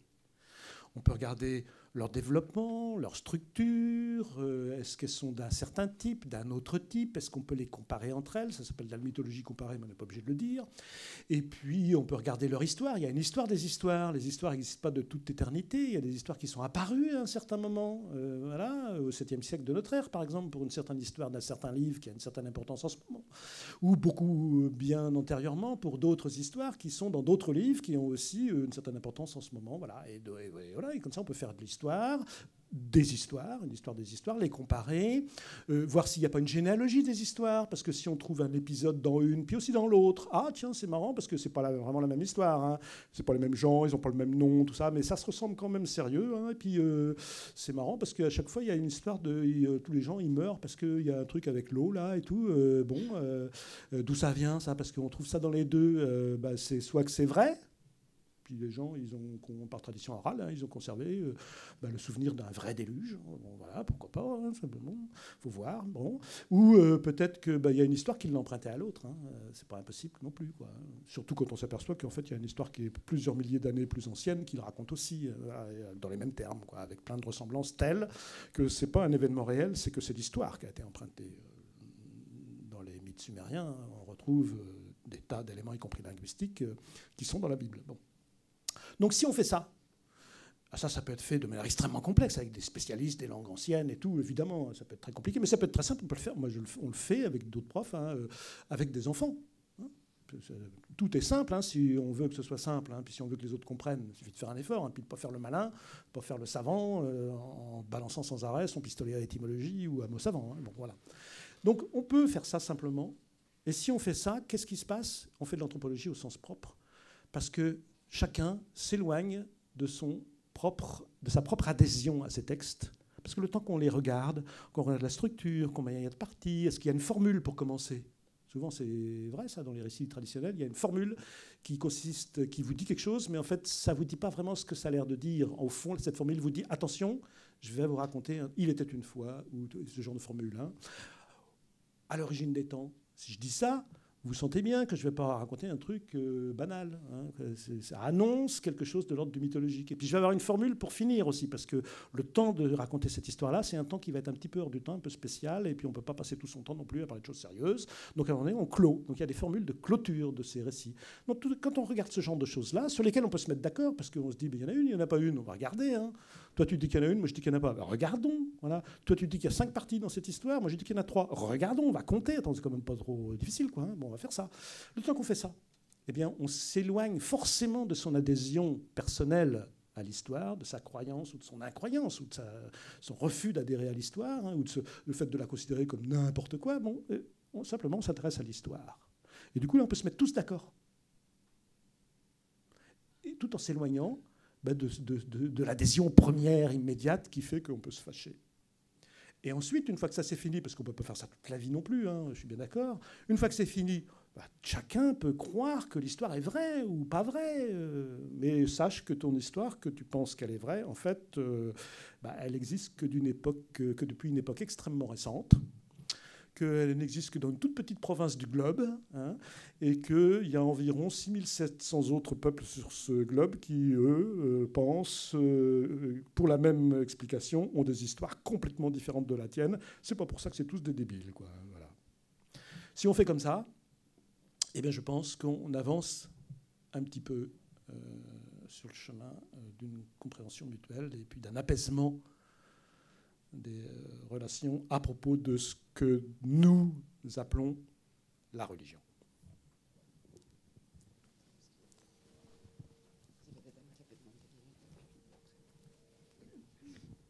Merci beaucoup pour euh, votre euh, conférence, dont j'apprécie particulièrement la conclusion. Je voudrais revenir sur la partie que vous avez analysée concernant le mythe et la vérité nous avez demandé même euh, est-ce que c'est vrai ou pas vrai. Et je voudrais voir comment euh, on peut euh, analyser ceci entre pensée abstraite et pensée imagée. Parce que beaucoup de récits sont vrais, pas forcément au sens du, du, détail du récit, mais vrais au sens profond, abstrait, dirait-on, du terme. Personnellement, j'en sais rien. Peut-être, oui. Mais c'est une façon d'approcher ces récits. et particulièrement, c'est une façon d'approcher les récits auxquels on ne croit pas. C'est la raison pour laquelle, je crois, euh, il y a un énorme succès depuis quelques années euh, des livres de contes et des, contes en général auprès des enseignants ou de certains euh, travailleurs sociaux, disons pour faire large, qui utilisent le conte non pas comme une histoire à laquelle on va croire, bon, parce que justement le conte c'est un mythe laïcisé, c'est généralement le conte merveilleux en tout cas, c'est un ancien mythe auquel plus personne ne croit dans l'endroit où on la raconte. C'est pour ça que c'est plus un mythe, c'est devenu un conte. Donc il a une, il a une fonction simplement de délectation. On aime bien, parce que aime bien, nous autres humains euh, sommes faits de telle manière que nous aimons bien raconter des histoires. Et si une histoire est bien racontée, nous aimons bien l'entendre. Et si euh, elle a vraiment été bien racontée, une fois qu'on a entendu une belle histoire, on n'a qu'une seule envie, c'est de la raconter aussi. Et donc voilà, du coup, on n'y croit pas à ces histoires. Mais l'idée qui est répandue, sur laquelle j'ai opinions, mais euh, voilà, je n'ai pas de rien de très intelligent à dire à part ça. Euh, c'est qu'il y aurait dans ces histoires un sens profond, donc par exemple archétypal, ou euh, qu'il y aurait des choses à voir avec notre psyché profonde, etc. Et que donc ces histoires peuvent être utiles, peuvent être utilisées, pour pas dire instrumentalisées, à des fins, bah, par exemple de thérapie, ou voilà. Bon. Bon, grand bien face à ceux qui, euh, et à celles qui font ce genre de choses. Euh, je ne suis pas bien sûr qu'ils sachent exactement ce qu'ils font, mais je ne suis pas sûr que ce soit sans danger. Je trouve que c'est un peu dommage pour les histoires en général. Ah, question par un téléphone. Je suis très réservé sur ce genre de voilà sur ce genre d'interprétation, mais voilà, chacun. Euh, c'est ce que je disais. Euh, à, la fin de, de, tout le, de, ce qu'on peut faire d'observation sur les histoires, de regarder comment elles sont, etc., les comparer et tout. Après, chacun rentre chez lui et chacun pense ce qu'il veut. Hein. Voilà. Euh, bonsoir monsieur. Ben, moi aussi j'ai beaucoup apprécié votre présentation. je me permets de faire juste une, une remarque, puis je vous poserai deux, questions. La remarque porte exactement sur ce dont vous étiez en train de parler concernant euh, cette démarche qui pourrait être universelle, après tout, entre des gens qui croient à des choses très différentes, enfin qui adhèrent à des choses très différentes, en leur disant, allez, oublions d'abord ce à quoi tu adhères, regardons, le regardons la chose. Sauf qu'il euh, il y a des, des individus ou des peuples qui ne sont pas prêts à regarder la chose comme si elle était à l'extérieur d'eux. Euh, je pense que quand on, euh, certains individus adhèrent à une réalité qu'ils vont juger comme sacrée, intouchable, euh, leur proposer la démarche qui est la vôtre, qui est une démarche un peu de, de la pensée libre, ça peut leur être effectivement très difficile. Moi, je me rappelle un élève, il était musulman, le fait simplement de montrer son Coran et, que je le vois, alors que je n'étais pas vraiment peut-être dans un état de pureté, euh, je parle pour cet enfant-là, ça ne veut pas dire évidemment que euh, ça vaudrait pour tous les musulmans, on est bien d'accord. C'était déjà quelque chose, voyez, qui pour lui était inacceptable. Alors vous imaginez bien que se mettre, euh, mettre l'objet à distance de soi, avec quelqu'un en plus qui ne le partagent pas. Voilà, ça c'était ma remarque. Je vous laisserai réagir à ça. Alors maintenant, j'ai deux questions. Bah, l'une qui est vraiment très ponctuelle sur le mot lui-même. Il me souvient d'un ouvrage que je n'ai jamais lu et, qui s'appelait Le mythe du XXe siècle, écrit par euh, le fameux Rosenberg, euh, le mythe, enfin, un des, vraiment des piliers de euh, l'élaboration du, mythe euh, arien. Il l'a nommé, il l'a appelé le mythe du XXe siècle. Ce serait intéressant de réfléchir pourquoi il dit le mythe du XXe siècle plutôt, plutôt que l'histoire euh, ou la biologie des races. Voilà, et, la question, donc, on va dire plus au fond, parce que je pense que c'est sur ce point-là que vous travaillez, et je suis absolument, moi, très intéressé par votre démarche, c'est que vous avez très bien dit qu'un mythe c'est quelque chose qu'on peut très bien voir chez l'autre, mais on peut beaucoup moins le reconnaître pour soi-même.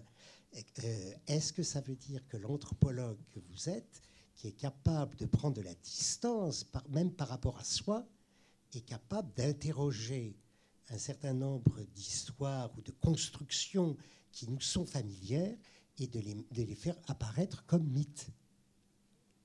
Voilà, merci. D'accord. Euh, le premier point, bien sûr, euh, parce que là, l'exemple que vous avez, donné, ça touche à quelque chose de l'ordre du sacré, et donc évidemment, par définition, mais c'est pareil, le sacré et le profane, ce serait euh, un long développement, parce que c'est aussi une notion extrêmement discutable. Mais admettons là, là juste pour cinq minutes, euh, un objet sacré, euh, donc par définition, ne peut pas être mis en contact avec quelque chose qui ne l'est pas, etc. etc. Bon, voilà.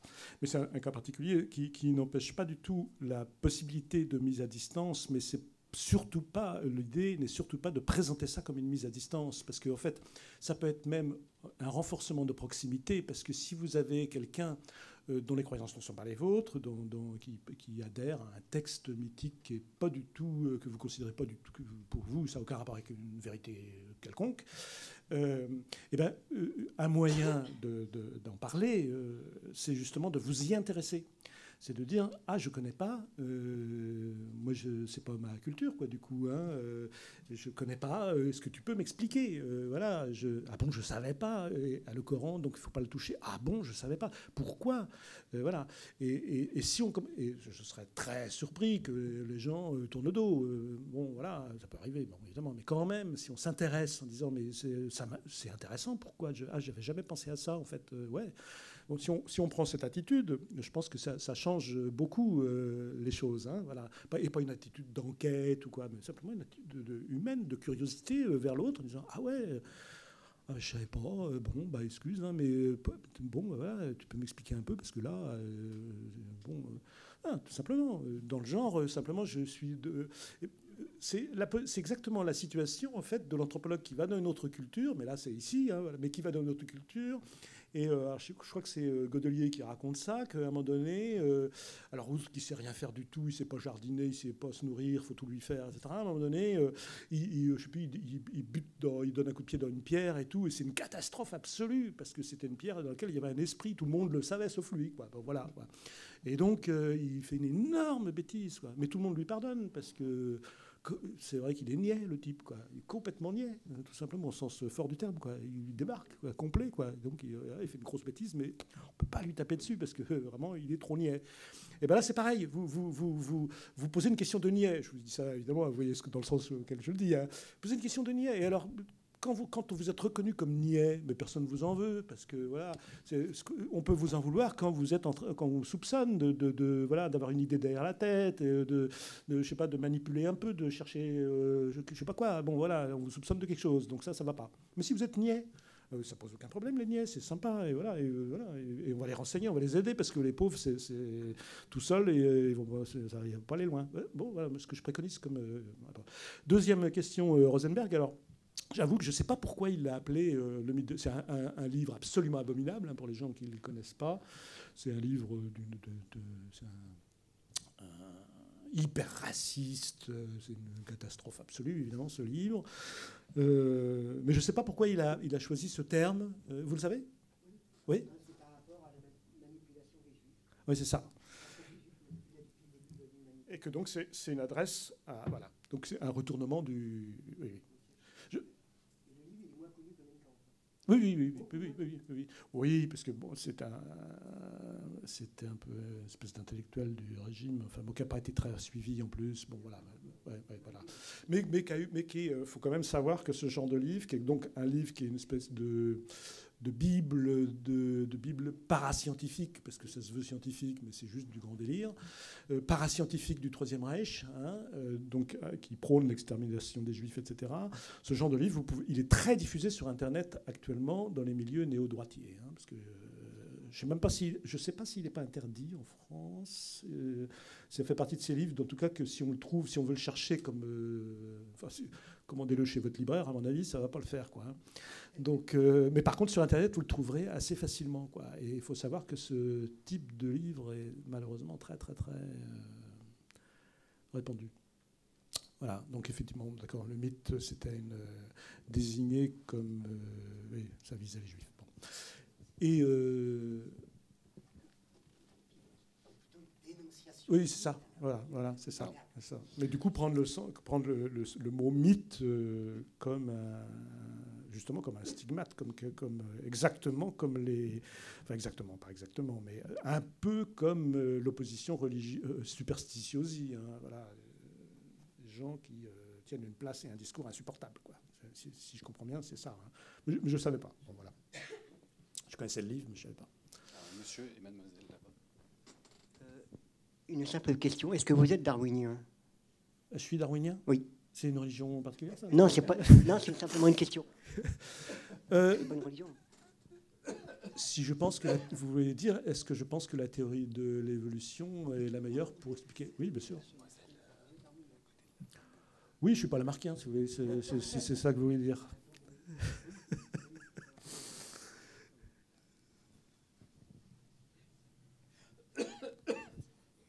Bonsoir. Moi, je voulais savoir, euh, à un moment, il me semble que vous avez dit que vous n'avez pas de croyance. Du coup, je voulais voir avec vous si euh, c'est compatible le fait euh, d'adhérer à une religion, de la pratiquer, et l'anthropologie, si ces deux choses sont compatibles ou pas. Ah. Le début, j'ai dit que moi, j'avais pas de croyance. Il me semble qu'à un moment, vous avez. Je ne crois pas que ah. dit ça. bah. Alors, faut que je. Non. Je me soigne. Non, non, je n'ai jamais dit une chose pareille. Euh, est-ce que, euh, donc adhérer à une, si, je comprends, la, question c'est est-ce que à une religion, être religieux chrétien par exemple, ou euh, musulman, c'est un problème si on veut être anthropologue, c'est ça est-ce que c'est compatible? Ben, Évidemment que non. Évidemment que non. Parce que, à la limite, la question c'est est-ce que être humain c'est euh, compatible pour faire de l'anthropologie, quoi On a tous des prénotions euh, des préjugés euh, sur les autres, sur nous-mêmes, sur tout, en fait. Et l'anthropologie, c'est un moyen d'essayer de s'en débarrasser un petit peu, mais jamais complètement. Hein. et euh, de faire abstraction de ce qu'on pense être justement la bonne position, la façon de faire, etc., pour voir un peu comment c'est chez les autres, pour revenir chez soi, pour se dire, ah, ce que je croyais, en fait, complètement évident et tout, ne l'est pas tant que ça. Hein. si je retrouve, pour pas vous trop vous embêter, je vais, vous lire un truc parce que du coup ça, me fait penser à une chose. Voilà, parce qu'en fait, euh, la démarche que je préconise là et toute cette histoire, euh, souvent ce qui est répandu ou répondu, pardon, ou soupçonné, ou l'accusation qui vient parfois chez certains, c'est de dire ouais mais en faisant ça, exemple en s'intéressant particulièrement euh, aux façons de voir des autres, etc., euh, et ça rejoint peut-être un peu la question sur Darwin, euh, vous risquez de faire le lit du, communautarisme. Hein, de, que les gens, du coup, chacun sa croyance, chacun, sa culture et tout ça, et on développe un truc qui fait que, en fait, plutôt que de, trouver un moyen de résoudre des conflits, on va plutôt nourrir la condition de ces conflits. Hein, voilà. Et donc là, pour répondre à ça, et ça répond aussi à, la question, mais indirectement, hein, euh, je vous lis une petite réponse euh, de Lévi-Strauss euh, à cette question-là. Si ça ne suffit pas, on pourra continuer à parler. Hein. L'anthropologue ne propose pas à ses contemporains d'adopter les idées et les coutumes de telle ou telle population exotique. Notre contribution est beaucoup plus modeste.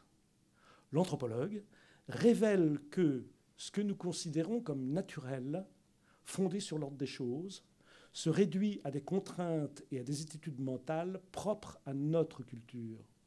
Elle nous aide donc à comprendre comment et pourquoi d'autres sociétés peuvent tenir pour simples et allant de soi des usages qui, à nous, paraissent inconcevables et même scandaleux. Voilà. La leçon de l'anthropologie, mais ça vaut du coup pour euh, voilà, la religion personnelle, les adhésions personnelles ou politiques ou n'importe quoi, euh, tout, notre fond de choses auxquelles on adhère, parce que c'est pas possible d'adhérer à rien hein, quand on est humain. Bon, la leçon de l'anthropologie, donc, c'est de s'apercevoir, parce qu'on fait le détour, on fait un, pas de côté, on passe par d'autres cultures, sinon si on reste chez soi tout le temps, on le verra jamais. C'est s'apercevoir que tout ce que je pensais naturel ne l'est pas. et qu'en fait, il y a un piège énorme dans lequel moi et tout le monde, hein, nous tombons, nous autres humains, qui est le piège de l'ethnocentrisme, qui est un des grands universaux euh, des cultures humaines. Et euh, le piège, c'est de se dire que notre façon de faire est naturelle, qu'elle est normale et que les autres sont quand même bizarres. Hein. À part moi, les autres sont bizarres. Hein. on peut résumer ça comme ça. Hein. À part moi, les autres sont quand même bizarres. Et en fait, moi, ce que j'ai comme euh, réflexion, que j'aime bien dire que plus une chose vous paraît euh, naturelle, plus elle est culturelle. Ça vaut pour tout, y compris des choses qui vous paraissent vraiment très naturelles. Et ça, pour s'en apercevoir, c'est pas facile du tout. Pas besoin de donner des exemples parce que ce serait trop long, mais les questions de genre, etc. En ce moment, bon, voilà. Euh, encore une fois, merci beaucoup pour votre euh, présentation. Je voudrais simplement être sûr d'avoir bien compris ce que vous venez de dire. Donc en fait, l'anthropologie, être anthropologue, c'est euh, peut-être simplement le fait d'admettre la pluralité en fait des, des croyances, notamment enfin, sur le point du coup des croyances, des religions, d'admettre la pluralité sans pour autant gommer tout ce qu'on a, tout, ce à quoi on adhère peut-être nous en fait, non? Oui, oui, bien sûr parce que de toute façon, c'est euh, même pas, ce serait pas un but dans la vie. Ça, c'est même, même, pas possible, c'est même pas envisageable. Hein, et, pourquoi le faire hein? Non, le but, c'est simplement de dire, de s'apercevoir, mais simplement par ce détour, par d'autres cultures, de s'apercevoir que ce que je croyais unique, euh, mais ça, vaut pour les, euh, les, croyances de type religieux, mais ça vaut pour tout, ne l'est pas, et c'est pas naturel du tout. L'anthropologue qui va sur un terrain éloigné, étranger, chez les Barouillas de Nouvelle-Guinée, voilà, il, est comme un petit enfant, il sait rien. Donc il faut qu'il apprenne la langue, etc.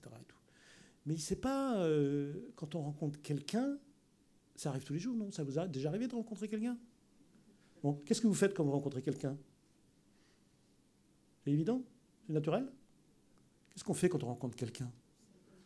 D'abord, c'est quelqu'un que vous connaissez, quelqu'un que vous ne connaissez pas, c'est le patron, euh, c'est la secrétaire du patron, c'est euh, je ne sais pas quoi, moi. Bon, voilà. Qu'est-ce que vous faites? Vous faites la même chose pour tout le monde?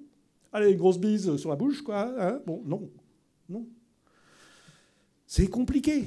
Euh, vous avez sur Internet, vous trouvez facilement des cartes, euh, vous savez, sur le nombre de bises qu'on fait euh, réparties en France. Il y a des endroits c'est une bise, des endroits c'est pas de bise du tout. Il y a des endroits où c'est deux bises, trois bises, quatre bises, parfois plus, etc. Imaginez l'étranger qui arrive, ou déjà touché, imaginez que vous êtes japonais, par exemple. Hein. Des bises Regardez sur Internet, vous allez trouver la vidéo de. Alors, je crois que c'est un ambassadeur du Japon qui, rencontre Trump. Ah, évidemment, il aurait pu rencontrer quelqu'un d'autre, hein, mais bon, il a rencontré Trump. Et donc, euh, il, lui serre la main. Et Trump, il lui serre la main, mais genre à deux mains, comme ça. Et, l'autre, il, est absolument euh, liquéfié. Il est complètement tétanisé, il est comme ça, mais ça se voit, c'est absolument horrible. C'est dur, des plombes. En plus, l'autre, il est là comme ça pour la télé. C'est absolument atroce. Et à un moment donné, il le lâche, et l'autre, il fait. Ah, il est comme ça, mais c'est incroyable, quoi. Voilà, c'est un exemple magnifique. Mais euh, là, ça fait rigoler, évidemment, mais c'est pas si rigolo, au fait. Hein. Et si vous pensez à toutes les histoires qu'on nous a fait sur Ah, à telle école, il y a le père qui n'a pas voulu serrer la main de l'institutrice. Ah, et alors, so what? Faites la bise à tout le monde, vous? Aux hommes comme aux femmes, par exemple? So what? Bon. C'est compliqué. Tout ce qui paraît naturel ne l'est pas. Voilà. Et une chose aussi simple et aussi quotidienne et aussi fréquente que rencontrer quelqu'un, qu'est-ce qu'on fait? Comment je me tiens? Euh, bah, si je suis au Japon, je fais une courbette. On apprend ça très vite, fais une courbette. Ouais, bah, d'accord, mais il y a courbette et courbette, mon gars. voilà, l'angle, ça compte. Voilà. Donc il faut connaître, à qui, savoir à qui tu as affaire, parce que si tu te courbes trop, ça fait quand même un peu lèche-botte, quoi. Hein. si tu te courbes pas assez, ça fait quand même le gars qui se la pète, bon, etc. Donc c'est très compliqué. Les rites, ce qu'on appelle en anthropologie les rituels d'adresse, qui est un truc très simple que, que, nous pratiquons tous tout le temps, forcément, puisque euh, à moins d'être complètement seul, quoi. Hein, mais bah, tout le monde fait ça dans toutes les cultures du monde. Voilà. Et c'est hyper compliqué. Il n'y a rien de naturel là-dedans. Pour se rendre compte que c'est pas naturel, le seul moyen, c'est de rencontrer quelqu'un un jour que, que, ça choque ce que vous faites, alors que bon, vous euh, ne vouliez pas le choquer, hein, ou qui fait quelque chose de complètement différent, et ça vous choque. Donc ça c'est vrai pour ça, mais c'est vrai pour tout. Et donc, l'anthropologie, c'est ça. Ça veut dire, une fois que vous revenez du Japon, vous n'allez pas vous mettre à faire des. dire, euh, c'est nul, le, coup de serrer la main, là, c'est vraiment nul, quoi. Et puis la bise, je t'explique pas, quoi. Le bon truc, c'est les courbettes. Bah non. Hein. Bah non. Vous continuez à serrer la main comme vous faisiez, ou faire la bise, ou trois bises et pas quatre comme vous faisiez. Voilà, il n'y a pas un problème. Mais vous avez fait une démarche qui. Vous savez. Vous avez. Euh, euh, voilà. Tout petit recul sur votre pratique et vous savez que c'est quelque chose qui est construit. Et donc, si vous voyez chez quelqu'un d'autre quelque chose qui vous, qui vous choque pardon, dans ce même euh, domaine, par exemple le rituel d'adresse, eh bien, vous êtes sur la bonne voie de ne pas vous fâcher, de ne pas vous offusquer, parce que vous saurez, vous aurez compris par vous-même, mais c'est aussi une expérience personnelle, c'est pas juste intellectuel, vous aurez compris que ça s'est construit. Voilà. Et c'est vrai pour tout. Mais c'est vrai pour la langue, c'est vrai pour les religions, c'est vrai pour la façon de manger, euh, comment on mange. Euh, vous êtes invité à manger. Euh, qui commence. Vous arrêtez quand de manger? Mangez tant que vous avez faim Ou qu'est-ce que vous faites là exactement euh, sans même parler du couteau à droite, la c'est comment déjà Bon, tout ça. Euh, et, pour boire, euh, qu'est-ce qu'on fait Enfin voilà, il faut dire un truc avant rien.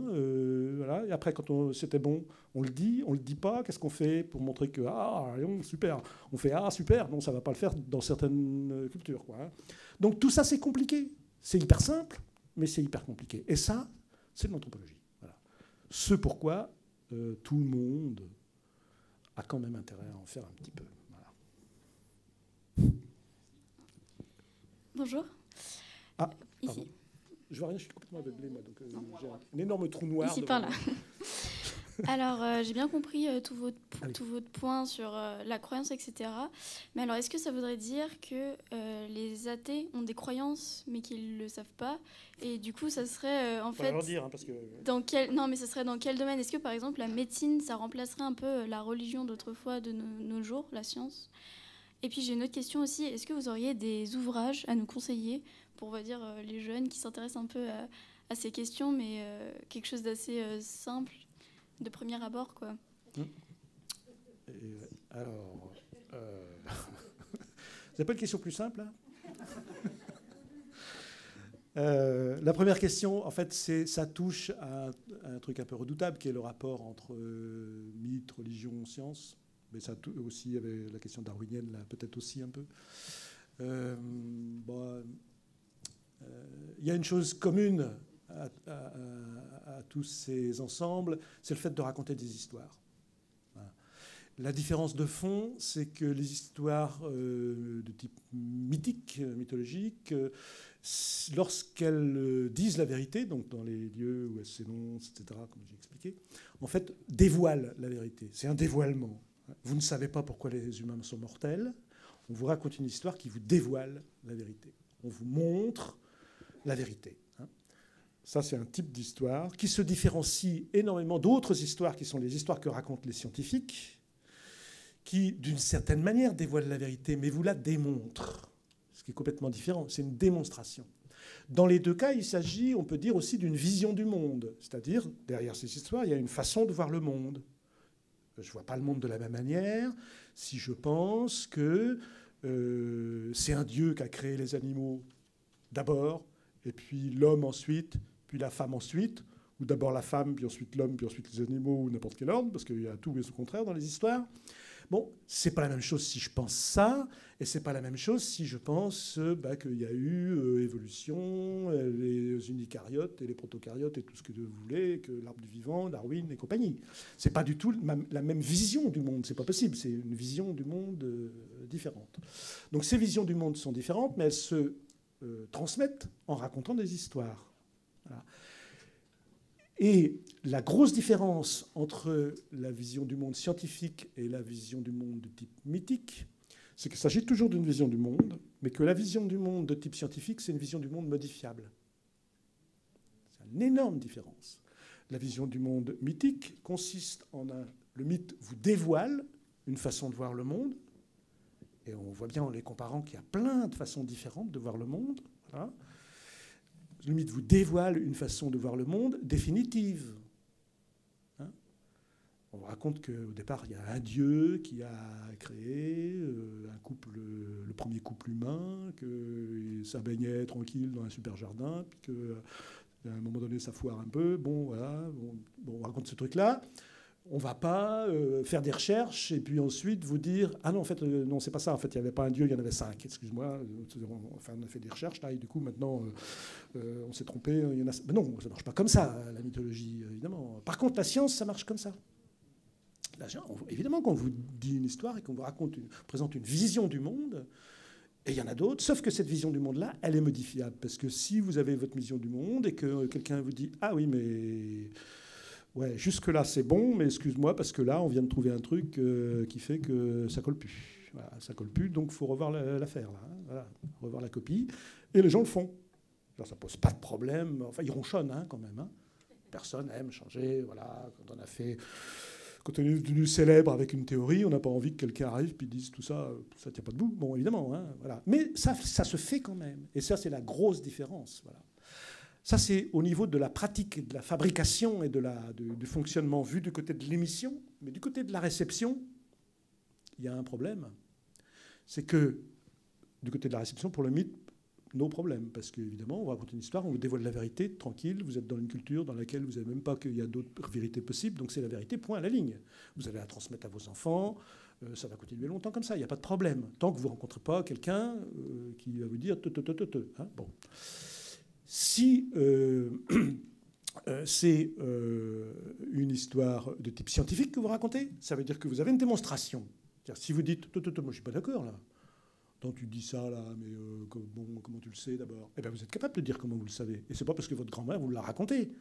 C'est parce que vous allez pouvoir faire une démonstration. parce qu'il y a eu Newton, il y a eu tout ça, il y a toute une histoire, et puis fait la gravitation universelle et tout. Si tu veux, je te file des formules et tout, puis tu vas voir, on va faire des démonstrations, on va la refaire, ou Archimède, ou ce que vous voulez. Vous pouvez refaire la démonstration. Hein. Ou la vérifier. Puis dire, non, là c'est faux. C'est toujours possible. Ouais, mais c'est possible pour qui maintenant? C'est-à-dire que maintenant, euh, vous entendez les euh, astrophysiciens vous parler de l'origine de l'univers. Qu'est-ce qu'ils font? Ils vous racontent une super histoire. Et vous, vous avez quel moyen de vérifier l'histoire? Vous la prenez comme une révélation. Vous la prenez exactement comme un mythe. Ce qui explique pourquoi, euh, ben, à la télévision, j'ai entendu dire, parce que moi, je n'ai pas de télévision, mais j'ai entendu dire qu'à la télévision, ça arrivait très rarement qu'on ait euh, une assez longue interview d'un spécialiste de la grammaire du sumérien ancien. Par exemple, il y a un livre qui vient de sortir qui est très intéressant. Effectivement, c'est vrai, hein, super euh, synthèse sur la grammaire du sumérien ancien. Et je ne suis pas sûr quoi, que la télé. pas sûr. Hein. Par contre, à la télé, vous allez avoir des gens qui vont vous parler de l'origine de l'homme, très régulièrement dans les journaux, tout ça, la radio. Des gens qui vont vous parler de l'origine du cosmos, euh, genre euh, Hubert Rive. Hein, euh. Vous des gens qui vont vous parler de l'origine de l'art, genre Jean-Claude, qui va vous parler de la grotte Chauvet, etc. Et vous avez tout des tas de gens. les seuls que vous allez entendre, en fait, c'est ceux qui vous racontent des histoires d'origine. Et pas l'origine... pas n'importe quelle origine, attendez, euh, l'origine du monde, euh, l'origine de l'homme, bah, des mythes fondamentaux. Enfin, ce qui tient la place de mythes fondamentaux. Parce qu'on est bien d'accord qu'ils ont des raisons de raconter ça. Et que leur histoire qu'ils racontent, telle qu'ils la racontent, elle peut être modifiée. Peut-être dans 5 ou 6 ans, ils raconteront une histoire un petit peu modifiée, parce que la science aura avancé, on est bien d'accord. Mais tout le monde l'apprend, y compris moi quand il s'agit d'astrophysique. Pas quand il s'agit de préhistoire, mais quand là je suis très critique. Euh, hein. Quand s'agit d'astrophysique, ben, j'y connais rien. Et puis il faudrait que j'y passe toute ma vie pour euh, arriver à même un peu sniffer euh, ce qu'il y a derrière dans les formules mathématiques et tout ça. C'est jamais, il hein, ne faut pas rêver. Donc je prends ça comme un mythe. Ça veut dire que dans la réception actuelle d'une grande partie du savoir scientifique, c'est reçu comme un mythe, ça tient la place du mythe. Et ce qui pose pas mal de problèmes, mais je ne vais pas monopoliser la parole. Alors, on a le, temps pour une dernière question. Alors, il y a des gens qui ont envie de poser des questions, mais qui en ont déjà posé. Là, on va attendre de voir s'il y a d'autres personnes qui se manifestent. Sinon, évidemment, on pourra. Ah ben voilà. Pour remplir le, le vide, si je peux me permettre, à un moment donné, je ne vais pas vous complimenter plus, mais on avait envie de voir votre parole. Excusez-moi. Euh, vous avez euh, donné une perspective euh, large, complexe et tout. Et, si je vais encore parler, comme vous dites, il y a des heures et des heures, moi je reviens tout simplement à, à, mettre la question la plus simple, dire quel est le but de telle ou telle ou telle religion, le but, le but, l'objectif. Bon, comme Gibran, Khalil Gibran, qui disait les religions sont multiples, diverses, etc., mais leur but initial, c'est de collaborer, de vivre ensemble, de faire une morale, de vivre ensemble, quoi, tout simplement. Ce qui serait bien dans, la, dans le débat actuel, c'est d'attaquer le fond du problème.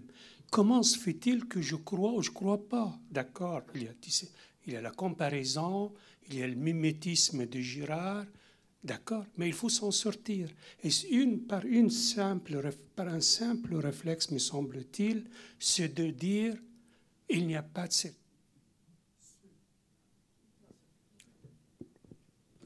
pas de la censure. Hein, je, conclue je conclus simplement pour dire, comme depuis que j'étais jeune, je disais, quand il y a un conflit ou une, controverse, l'histoire, dans ce domaine-là, l'histoire n'est pas terminée.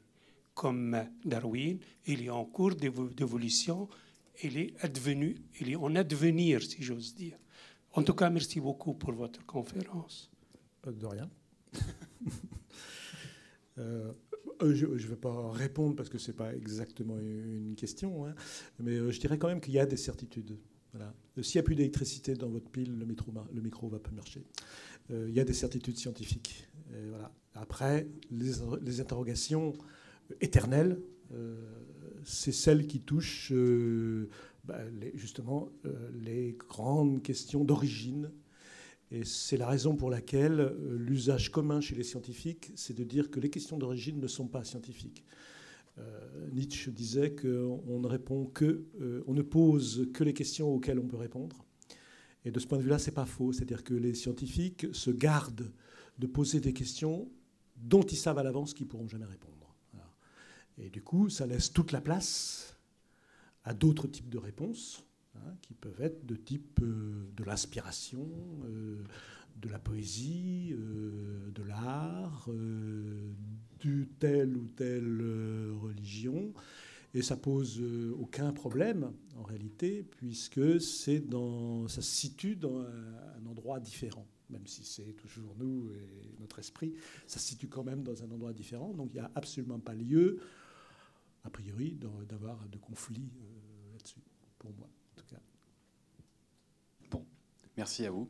Ce sera le mot de la fin. Euh, de rien. Merci bien. Alors, on a la chance de vous avoir vu cet après-midi pour ceux qui ont assisté à l'atelier, de vous avoir vu ce soir. Mais en fait, euh, on a la chance de vous revoir dans un mois, enfin dans un peu moins d'un mois. Alors, virtuellement, parce qu'en fait, euh, la prochaine rencontre euh, du cycle Pensée critique autour des croyances a lieu le 12 décembre prochain. C'est la projection d'un documentaire qui s'appelle, je vais encore oublier, Les lois de l'attraction mentale, réalisé par Thomas Durand qui sera présent avec d'autres membres de la Tronchambier, qui est un, collectif de youtubeurs, euh, qui s'interrogera sur les biais, enfin qui permettra de s'interroger sur les biais cognitifs et ce qui, ce qui fait qu'on croit ce qu'on croit ou qu'on ne croit pas ce qu'on ne croit pas. Et il se trouve que vous êtes euh, interviewé dans ce, dans ce documentaire, donc euh, vous aurez la chance de revoir Jean-Loïc Lequelec d'ici moins d'un moins mois maintenant. Merci encore. N'oubliez pas que tout au fond de la salle, vous pouvez acheter des ouvrages de Jean-Loïc Lequelec, mais aussi sur d'autres d'autres chercheurs autour des, croyances et des mythologies. Merci. Merci à vous.